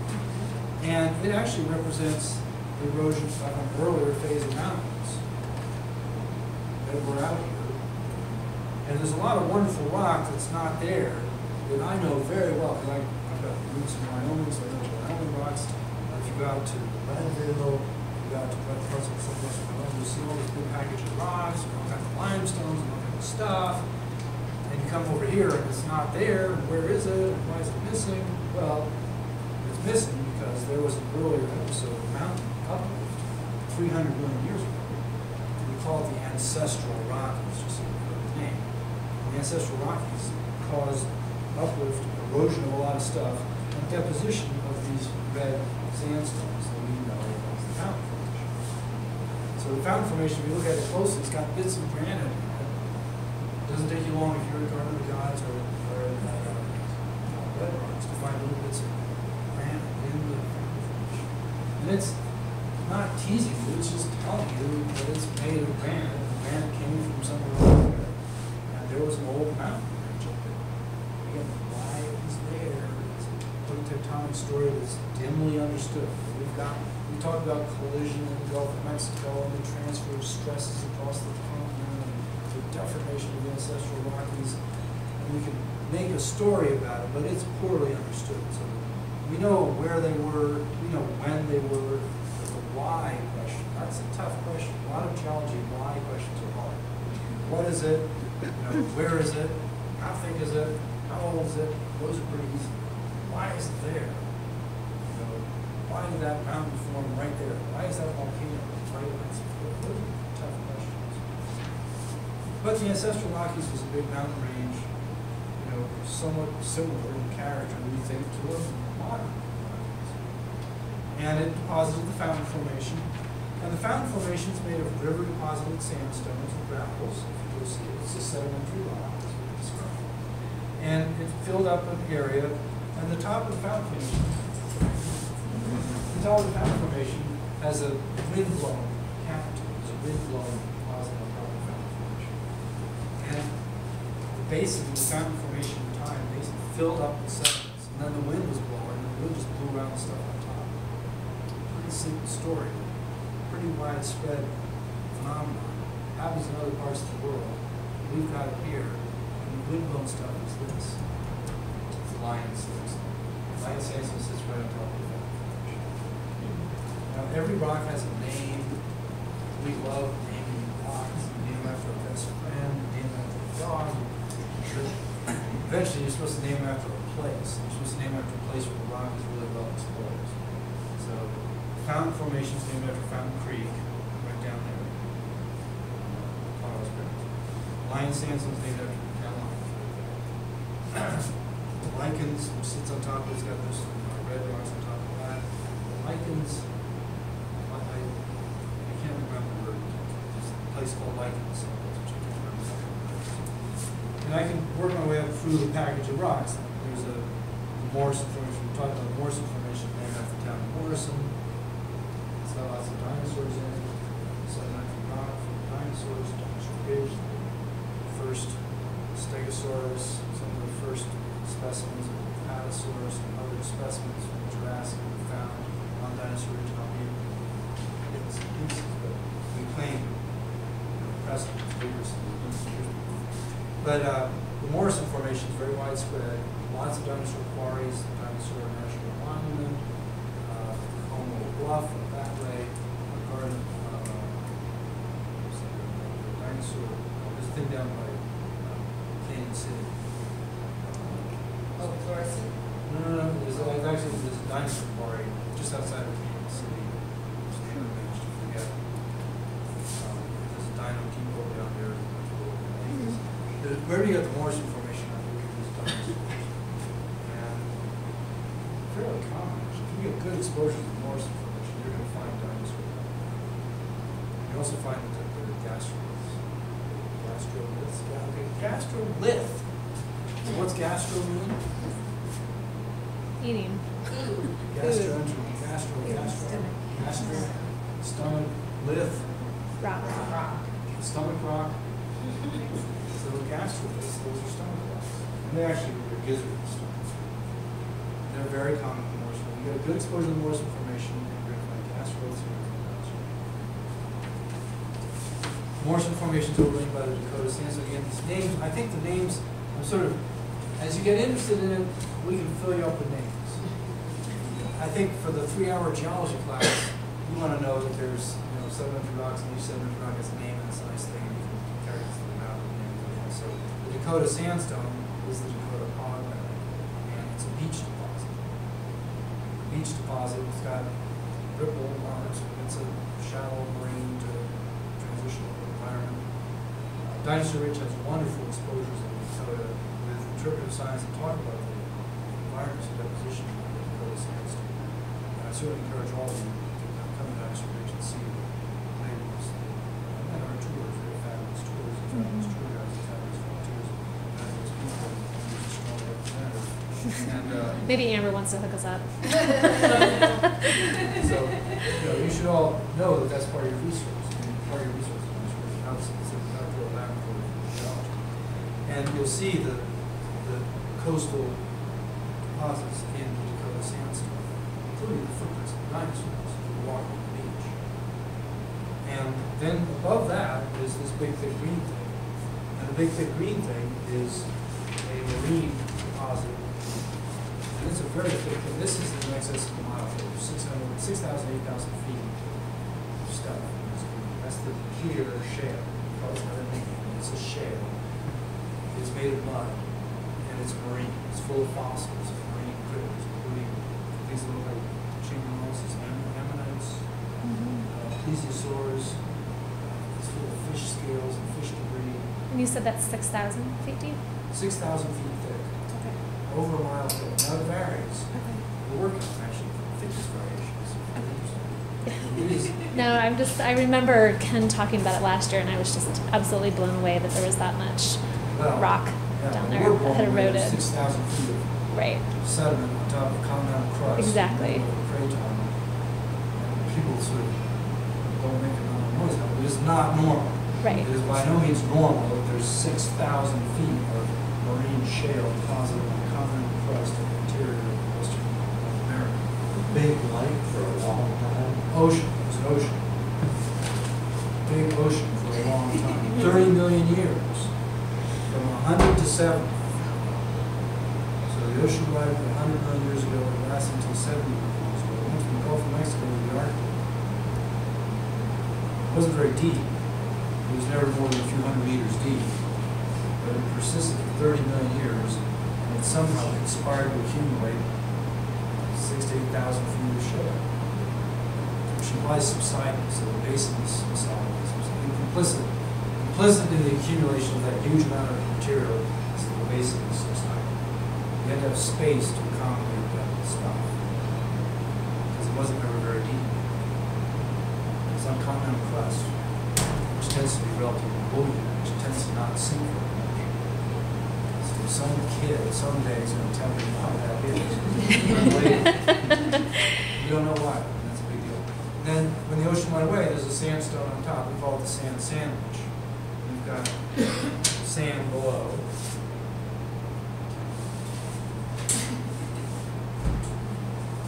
So in the bigger picture, we've got the sandstone bed at the bottom. Say Colorado's here. Let's say Utah is here. I'm doing a cross section from west to east. And actually, this does this, you know, all kinds of stuff. This is sand. Sand, when I say sand, I mean sandstone. This is sandstone. So the Dakota is not, doesn't, the Dakota sandstone is a little scruffy. This is nice and elegant, sort of. The Dakota's a little you know, more heterogeneous. You can say heterolithic, but I it like that. You say heterolithic. The Dakota is heterolithic. What does that mean? How do you know? Mix of stone, right? Mixed, hetero. Hetero meaning het- different. Hetero means mixed. And lithic is, so mixed stones. So the the Dakota sandstone's got bog deposits, it's got footprints, it's got slime, it's got estuaries, it's got, you know, lots of stuff. For Hawaiian sandstone is nice be in low sand. So this is this heterolithic sand, this is the Dakota. Sandstone. That's, that's what it says. Then here, go out to say, uh, uh, Price, if you go to Mesa Verde, Four Corners, you're getting into these beaches, Mesa Verde is one of these, the sandstones that they built their cliff dwellings on, are these sandstones. We call them Mesa Verde roof. When you go to Four Corners, when you go to establish agriculture,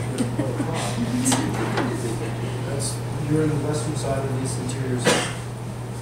And then, then the seaway actually retreats, it goes away, and there's a sand on the house. And when I say sand sandwich, this is shale.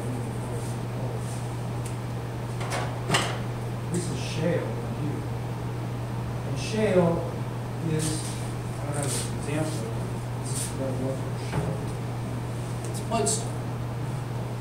It's like all the slime. Can I li- elicit a little more to When I say shale, I'm a happy guy because I know what I'm talking about. Shale. And uh, it has uh, expandable clays in it, so when people's houses, you know, kind of almost that's the shales. So this is a sand sandwich, the sand at the bottom, the Dakota sandstone, the sand at the top is called the Fox Hills They won't have names. It's named after, that thing's named after something up in the Dakotas, Fox Hills Creek or something. And uh, I studied the Fox Hills sandstone. And and then, so there's, there's shale sandwiched by sandstone, and literally the, the the ocean arrives at the Dakota and it leaves at the Fox Hills. So these are sandstone, but we know why they're there. They're labeled on here, they're on either side of the big bead thing. Sandstone's gonna look like sandstone, shale's gonna look like shale. And the sand looks like the beaches. When you see it, it looks like a beach. It was a beach. And then behind the beach, after the beach, what happens next, up here, what's called the fossil sandstone. Sort of fun. Both are very important. Above the Fox Hills sandstone is the environment that would be like Houston. I've lived in Houston five years, three months, two days. I'm jealous. I was- I had a wonderful time in Love, the job. It was sure nice to come to the mountains. Because Houston's the environment behind the beach, and behind the beach you have bayous and this, you know, water lots and uh, swamps and the, you know, sludge and sludge and heat swamps and all that. So behind the, here, behind, above the Fox Hills, you got all this stuff, this swampland and peat deposits, and they've been buried deeply, and those peat are doing is buried deeply.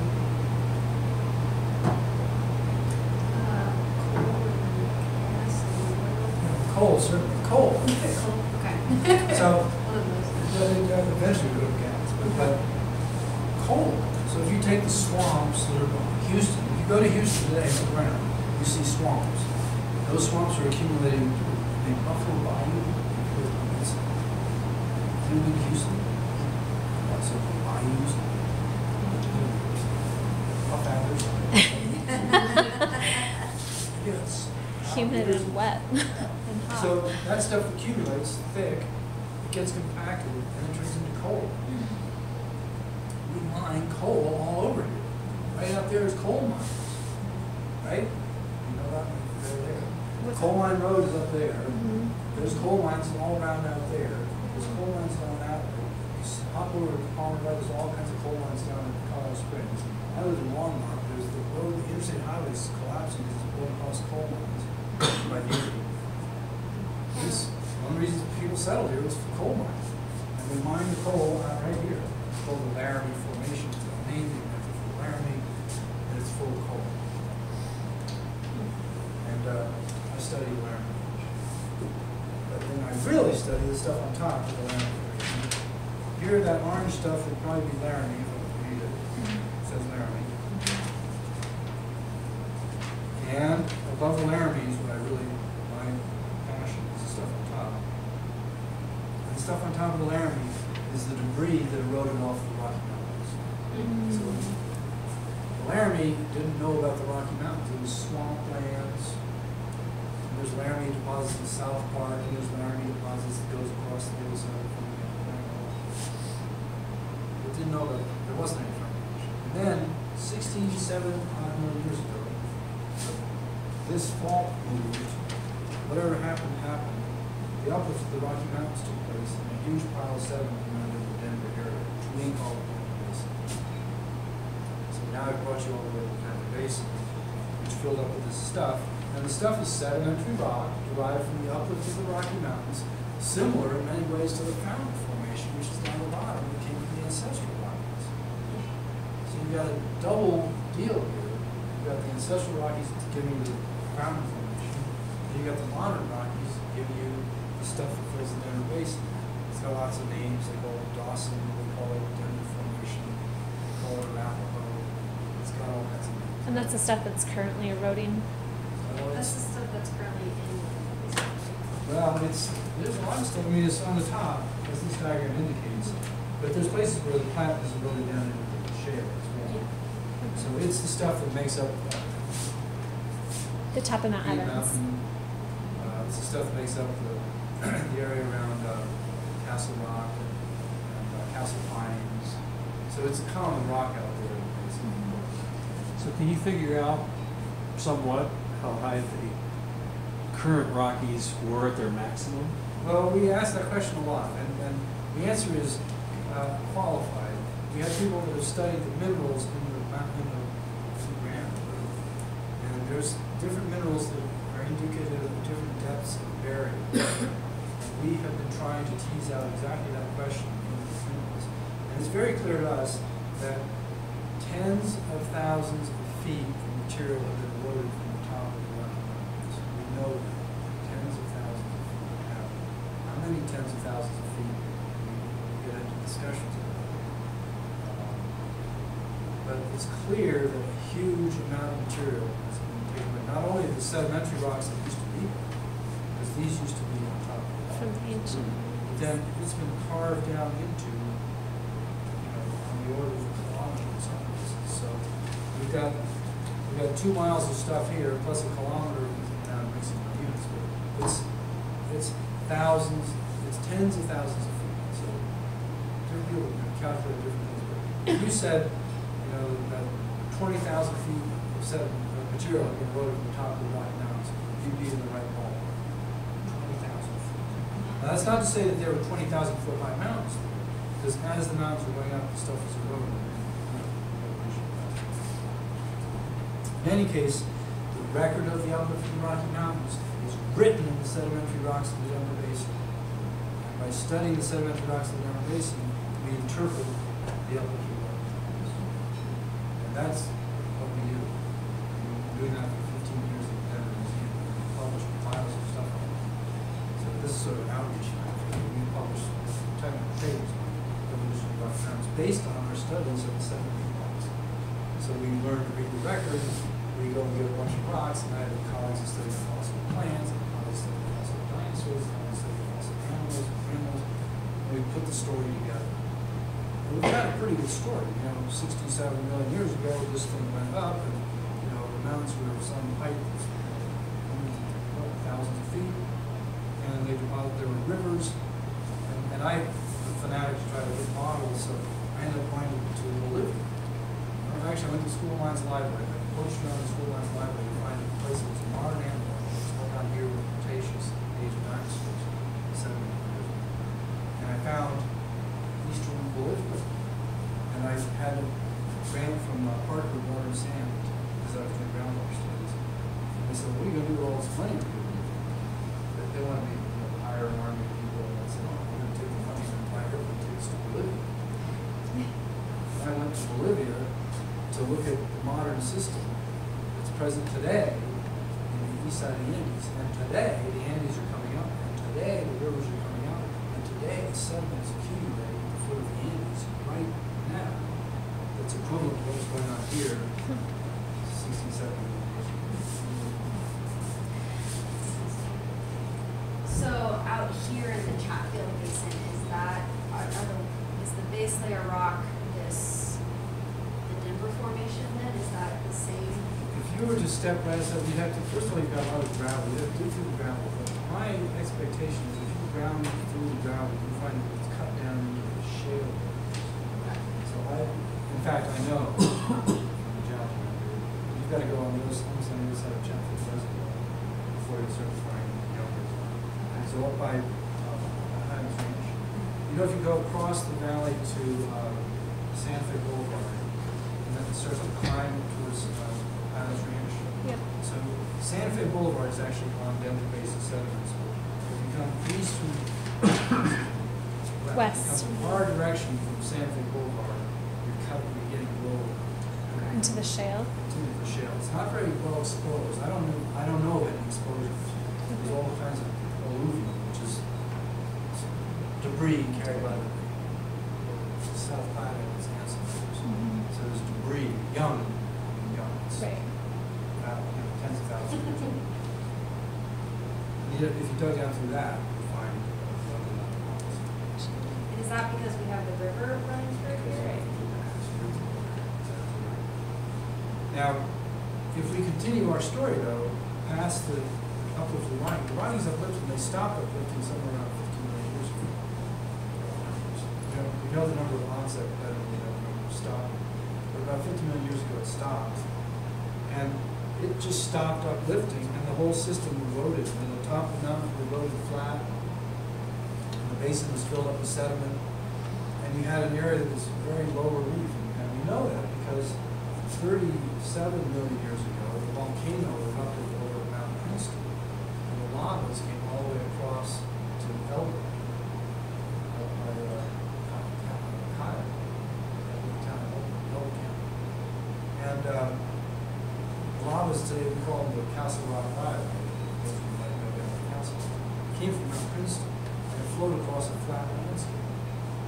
So the, the Rocky Mountains had formed, the basin had filled, and then it just stopped. And as soon as it stops, things get eroded flat, and it got eroded flat. And it sat there eroded flat for a long time, and that flat erosion surface, there's something called a gangplank, by Cheyenne, you go up there. That's that flat surface, and you can drive, they drive the, the train track goes up there, and the interstate goes up there. Is that interstate up there? Eighty. So Union Pacific Railroad, Interstate eighty, the Oregon Trail, the Indian Trails, they all go up that flat surface. Because it's the easiest way to get up and across the mountains, because that surface is there so flat. Down here, it's been eroded away by erosion. And the key thing to appreciate is the topography that you see today, when you look out the window around here, is the product of erosion. I've said it lots of times, I'm gonna keep saying it. The product of erosion, especially here, like, I, you know, just, it's got the point, well, you- you're sitting at the mouth of the biggest river in this area. So the maximum amount of erosion is going on right here at the door.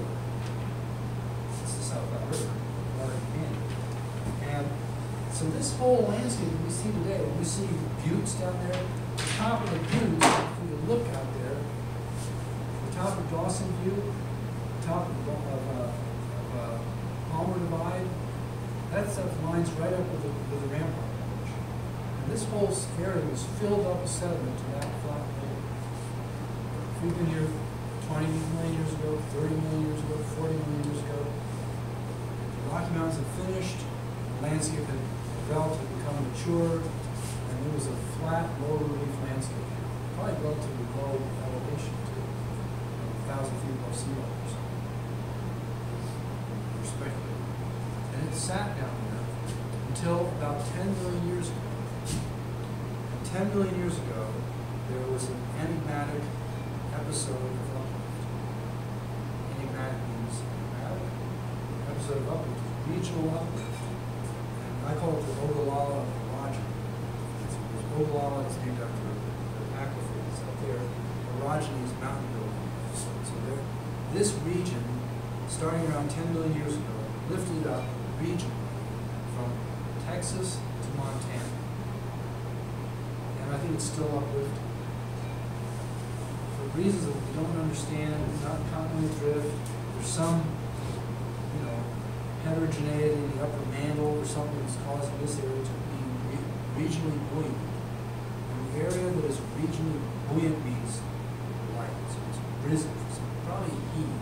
I mean, there is, it's heat, so there has to be some thermal disturbance of a large dimension over a big area which caused this region to uplift. It started about ten million years ago, continues today. And the net effect of that has been to lift this area up to fourteen thousand feet, which is a very high, huge number, thirteen thousand plus in Wyoming. This entire region is uplifted, that flat surface, there's vestiges of it all over the place. If you climb up to the top of Long's Peak, how many top of Long's Peak? Where's our rock climb?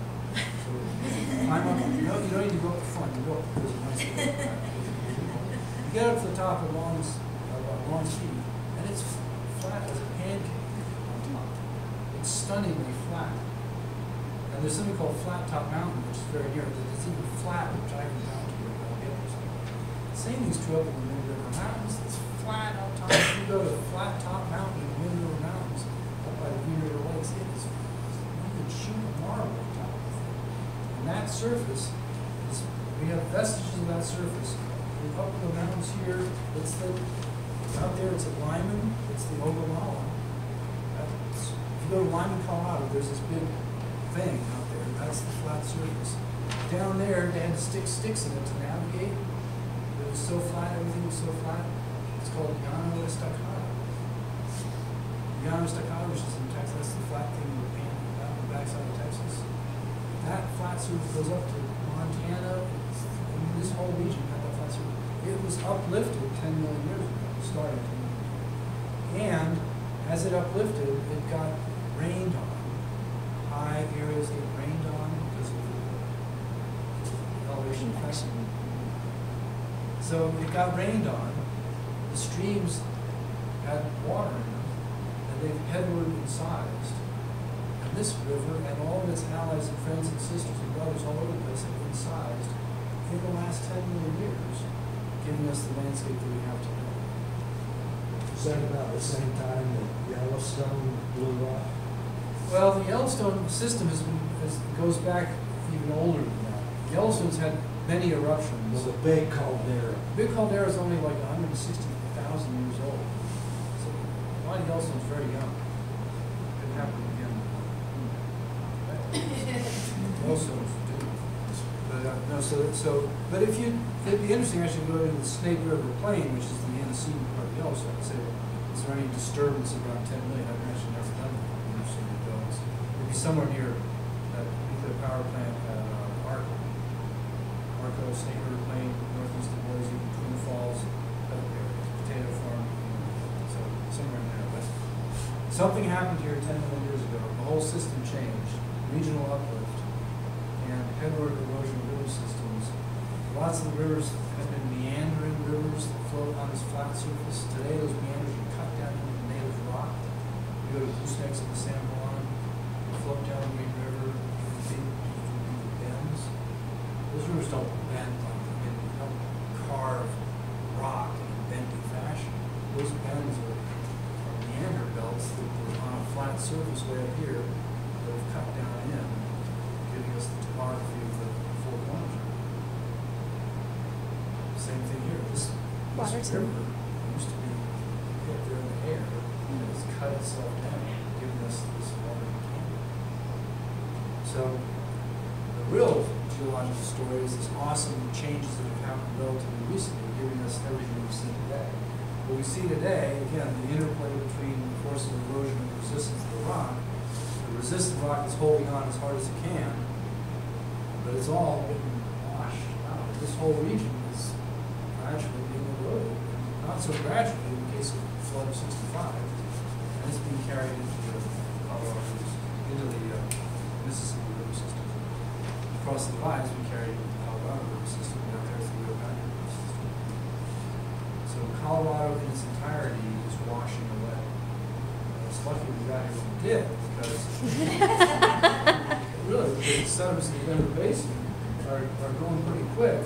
And I'd have a hard time reading them if I got here a few more years in the future, because there'd be much less there to read.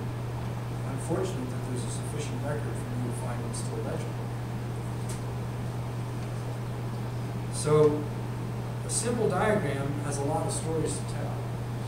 And the science of geology, now I'm marking back, to the grade, marking back to the simple study of rocks allows you to decipher amazing stories. And it's not that common. That's not that complicated. You can climb on rock, you can feel how hard it is. That's a very tangible thing. It's, geology is very tangible. The age of the rock can be determined from fossils in the rock, it can be determined from carbon fourteen dating of s- very young sediments. There's other kinds of radiometric, called radiometric. It's, it's looking at radiometric decay. That's the way we date rocks, is from finding parent-daughter relationships. We look at the mineral, we look at the ratio of parent to daughter. So it's a, there's a whole science. I mean, there's people whose careers are devoted to dating rocks. Strange social life. That's what they do. And there's a, it's a huge and wonderful story. And, and the rocks have been dated using many different systems. So when I say the rock is doing million, when I give you an age of 100 million years, it's, I've got profound data behind me. I've got fossil data, I've got radiometric dating data of many different techniques, and they've been converged over the years, and many people have worked on them. So there's a whole history of understanding of the age of the earth. These numbers change. We carry a little age chart with us. Geologists have it in their pocket. It's, you'll see the ages, you might say the ages of some, it gives you the geological ages here. But those ages, the, the boundaries of them change a little bit. They tweak the numbers a little bit. So the numbers aren't, you know, really rigid, but they're not tweaking that much anymore. They used to tweak by ten hundred years ago. Now they're down the decimals. as they. So the age of the rocks going on, there you go. Got that. We carry, this you get at the USGS building. And, and, and, uh, not only do we carry those, but we're supposed to carry our handlings. I've got a color code. But I don't have my handlings, so I can't read it. In my youth, I could read the chart. Isn't that nice? So this is something maybe, so we stuck them both together. But in any case, um, there's a system, and the, ages all have names. and, You know, I've said Cretaceous a few times, but you know, you don't need to know the names of the ages. But if you're interested, there's charts two clicks away on the internet, and uh, every age has a name. And there's, and then the sub, they get subdivided. And someone studies the lower left toenail of the dinosaur, and then they subdivide some more. But suffice it for you that there's you know, lots of time. So, the arc of the story, we, we've sort of defined the science.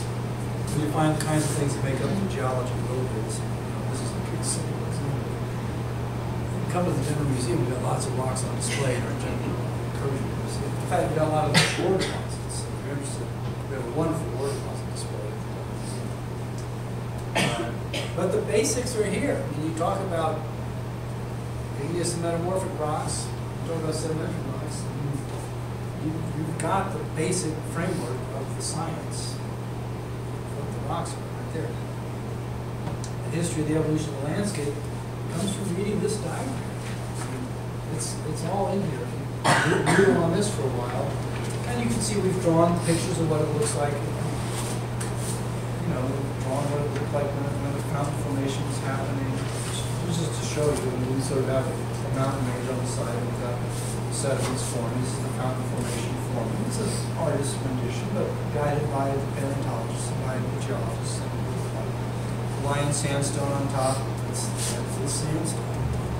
These sand dunes. And the guy literally went over and looked at the sand dunes down there and said, well, I can sketch that. Sketch that.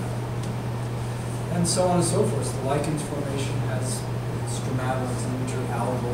We went to Sharks Bay and there's a place in Australia where everybody goes, a giant vineyard. It's got these things growing today. We'll see it happen. And uh, then Morrison formation, a little bit of artistic license as to what it might look like. But there were sauropods sauropoding around. And they must have sort of eaten stuff, so we don't see a lot of fossil plants in our north, but up to the north of fossil plants, and stuff, something like that. And so on and so forth, and here's what the Dakota sandstone looks like, this is the beach deposit, the dinosaur, somewhere walking up to the footprints. We've, dinosaurs, we've, had more artists portraying more diagrams, and I encourage you to come to the visitor center at Dinosaur Ridge, where you'll see additional illustrations. And then the interior seaway, you know, it really did look like that, and these critters, pterosaurs were pterosauring around, forming, their fossils are that, you know, the Denver Formation, the Denver basements from the dinosaurs, there's a dinosaur leg in this diagram. You know, this is what it looked like, right outside the window, right here. All of these diagrams could be drawn in front of this building. And we have seen with our eyes these stories. So I live in the past. And I'm gonna segue for the last half hour. You guys wanna break or we just keep going? Just guys want to take a break? So I want to keep going, because I want to, I've, we've only got about half an hour. But I want to bring you to the present. So, you know, we come through all these layers with all these stories. Here's the volcano that erupted at Mount Princeton. Is that right? Yeah, keep going. So this is the, the Castle Rock rhyolite. It's down in Castle Rock. Which is what I thought the fireplace was made of. I'll just tell you. I mean, it's, I mean, that, the common building stone right here looks, is the. And that fireplace looks a lot like Castle Rock. But I'm pretty sure that I see layers in it, and I'm pretty sure that it's a limestone. I don't know where it came from, so I'm a bit confused by that fireplace. And I'll, I'll draw on everybody's expertise to look at it. I'll admit, I'll confess that I'd like to have a little bottle of acid and those fittings. Then I'd really be confident. But Right now, I'm a little nervous about the fireplace. I'll confess. Um, Then we had, we had big flood deposits. Someone mentioned Florissant, if been to Florissant, there was a lava flow that blocked the lake down there. There's fossils, sequoia trees, and all kinds of bugs. How many been to Florissant? So I encourage you to go there, it's not very far away, it's a wonderful fossil place. And these lava flows barricaded a big lake, which accumulated all the fossils. Then those lakes broke, and there was catastrophic flooding. Huge floods came out of the front ridge, about thirty-six point five million years ago, and deposited huge conglomerate that's called the Castle Rock conglomerate, which caps the whole Castle Rock, Castle Rock. And so this was, and, and I, it shouldn't be raining here, and I couldn't get the rain. Because it wasn't because of rainfall, it was because of overtopping of lakes. And These huge floods, which is an amazing story. And, uh, and then, you know, we live in a world, this was the Ice Age world, we this to the landscape. I do this in PowerPoint, but you just So this is Highlands Ranch. It's actually not a very, it's not a bad way for people to live. Put people close together and you occupy less space. I've run field trips to Highlands Ranch. I did a system on, did a class on sustainability. We went on a pilgrimage to Highlands Ranch, originally thinking I was gonna say, well, how terrible this was. And then the more I looked at it, Highlands Ranch is a good way to get a lot of people landscape, each thinking they've got their slice of the American dream. And, uh, and the canyon, there's all kinds of open space in Highlands Ranch. Not that they, they couldn't build in the gullies. So they left the gullies as open space. You walk in the gullies, there's fifty thousand people now in building, there's probably sixty or seventy thousand people all around you. And in those gullies, there's coyotes cruising around and there's birds building these nets, baskets that look like nets, nets, some kind of, they build buckets and live in them. Like that one back there? Yeah, well, similar to that, yeah. Okay. So there's some kind of bird that does that. In Highlands Ranch. What kind of bird is it? An Oriole? Oreo. So Oreo birds, is a bird called an Oreo? So, the Orioles and the coyotes, I mean, it's like, there's open space with animals living in the midst of all of our civilization. It's really, set a piece of on the south side is. So, so that's sort of the, the modern world is, is us living. And as we come up into the modern world, again, geology is a big deal because we, we talked about water resources. And and I mentioned a couple times about water, and water is a sacred thing. Without water, we don't go very far. We have a couple days without water, you're gonna have. It's really good water. So, you know, there's not enough water in the Front Range for us to live. And that was figured out early on. John Wesley Powell and people a hundred years ago knew that. And so we got out here and said, well, we're gonna put a city in Denver, we're gonna put a city in Fort Collins, we're gonna put a city down in Colorado Springs. Said, right, that's fine, but you're gonna have to bring water from the other side of the Continental Divide, which is what they've done. All three of the old cities here have huge systems that bring water the other side of the Continental Divide, meaning Colorado River. And in the city of Denver, Denver water, it's fifty percent Colorado River. So when I'm up at the museum, I'm drinking half Colorado River water and half from the river. And the Colorado River comes through tunnels, and we want more water. People on the other side want water too. That's the same water that people are drinking in Tucson, Vegas, in San Diego here, this side of the thing. And, uh, uh, parts of, uh, Phoenix and, uh, Scottsdale. And, uh, you know, Grand Junction, and all that, they're all drinking that water, so we're sitting over here wanting more of it, and they don't want to let us take it. And you've all, it's in the newspapers all the time, there's big issues about water, it's not gonna go away. And the people who study the water in the river say we're past peak water in the Colorado River heard about peak oil, but now we're talking about peak water. It means that the, the flow, the annual flow of the Colorado River is diminishing. Go to Lake Powell, Lake Mead, and see, you've been to Lake Powell, Lake Mead, you'll see, the bathtub ring in Lake Mead is two, two hundred feet. It was just two hundred feet of white rock. And the city of Las Vegas is drilling an emergency tunnel, tunnel three, and three foot away, the tunnel, so they're, because their inlet is risking sucking air. So they're, they've got this emergency project drilling underneath Lake Mead to come up and get the very bottom water. And the tunnel keeps collapsing because there's high pressure water that's underneath Lake Mead. The rock is fractured. And they're advertising for tunnel engineers. And I, in my class in school mines, I, I the students know there's job opportunities in the tunnel. Tunnel three in Las Vegas. I'm not gonna take this one. There is a ton of class. But it's, The, the most complex laws in Colorado are the water right laws. Very complex. And they're trying to change them right over here. Because then we live in Sterling Ranch, so. we Yep. Get a chance to say Sterling Ranch and see first. You know, I hope we're gonna, I don't know what you guys feel about Sterling Ranch. They're proposing to put a honking big real estate development right over there. Mm-hmm. We, There's- we could see it from here, There's yeah. no water. No. They're trying to change the water law. And, you know, I don't I don't know how much you guys are involved in that. You know, I've met all those people, they're nice people, and they're trying hard. There's billions of dollars on the table, it's in the court. right now. There's- there's- The court told, the county commissioner says, yeah, no problem, build a new subdivision. Some judge looked at the letter of the law and says, you have to have a water supply if you're gonna put in houses. Mm-hmm. They don't have a water supply. And the judge said it was illegal. And now that's going back, and they, that's being contested right now. So that's, a- I mean, again, I don't know if you guys talked about that, but that's, within line of sight, they're trying to put in a honking huge subdivision, it's gonna use an awful lot of water that doesn't exist. Mm-hmm. They already built some homes in there? I don't think they've No, quite started. It hasn't been allowed to start.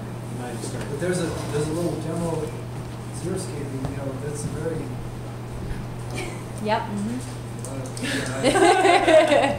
I'm always worried that someone's gonna be here. But I, I mean, I'll state what it is, there is not enough water.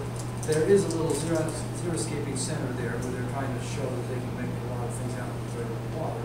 And at some level, they're sincerely trying to say that they can modify Colorado law, collect the water from the roofs, and have have somehow enough water for their people. Now, I just, the arithmetic doesn't, doesn't add up, but, but there's billions of dollars at stake, so it's hard to talk Yep. in gallons when there's billions of dollars, literally billions of dollars. So, When I first, first moved to Colorado, a long time ago, there were only a million people in the entire state. How many people were in Colorado? About five million. About numbers, you know, and that's just fif- fifty-two years. Eighty percent of the five million live on the front, of the front range. Mhm. And eighty percent of the water is on the other side. So people live in the water is. People keep coming and they just take water for granted. Yeah. Well, I asked them, they were building down by, by Castle, I said, well, where's your water gonna come from? And they said, well, it comes out of that hydrant right there. Well, they're declining groundwater, the groundwater, I've studied the groundwater in in Douglas County. The water table is falling an inch a day in some areas. It's it's astonishing rates of fall, and we've dated the water, the water's thirty thousand years old. So they're mining fossil water, and they're still selling houses. I think it's a moral issue, if you ask me. And I've said this a lot, I've- we've written it in the newspapers, we've talked about it on the radio, it's been on television, we have not been able to get to the people. So we finally resorted to the romance novel. And I've got, there's a former anthropologist, and she wrote a romance novel about water in Douglas County. It's called Dead Dry. Somebody should sell it. It's about, and, and there's a murder, and the geologist is apprehended, and all kinds of stuff happens. And it's by Sarah Andrews, and it's called Dead Dry, and it's uh, banned in uh, Douglas County. But, I mean, it's, so, so water is an issue, and they will get water. They're find, we're, we're gonna- we've got this pipeline proposed to go from Flaming Gorge Reservoir to Douglas County. And, uh, people are looking at the Mississippi River, every time I go to Chicago, I point out a big lake that lowered by a few feet on that, that So we've got lots of water, and we can build pipe. So Douglas County is not gonna run out of water. But it's gonna cost a lot of money. Grant, and you there's a pump, there's a river, there's a coffee, it's a wonderful thing. But it's a, it's a blessing to have water. To have clean water is a blessing, and it takes money. And when you go to Confluence Park today, remember I told you about the gold? Confluence Park today is a park, and the Evergreen Foundation took money, lots of money, and they cleaned the place up to a point where today it's a city park right down by the REI building. And it's a wonderful place. The children swim in that water. It used to be bad. The, the, the point pollution has been cleaned. We've spent money to get the clean water with sewage treatment plants and things like that. Which, if you go to the Ganges River and talk about sewage treatment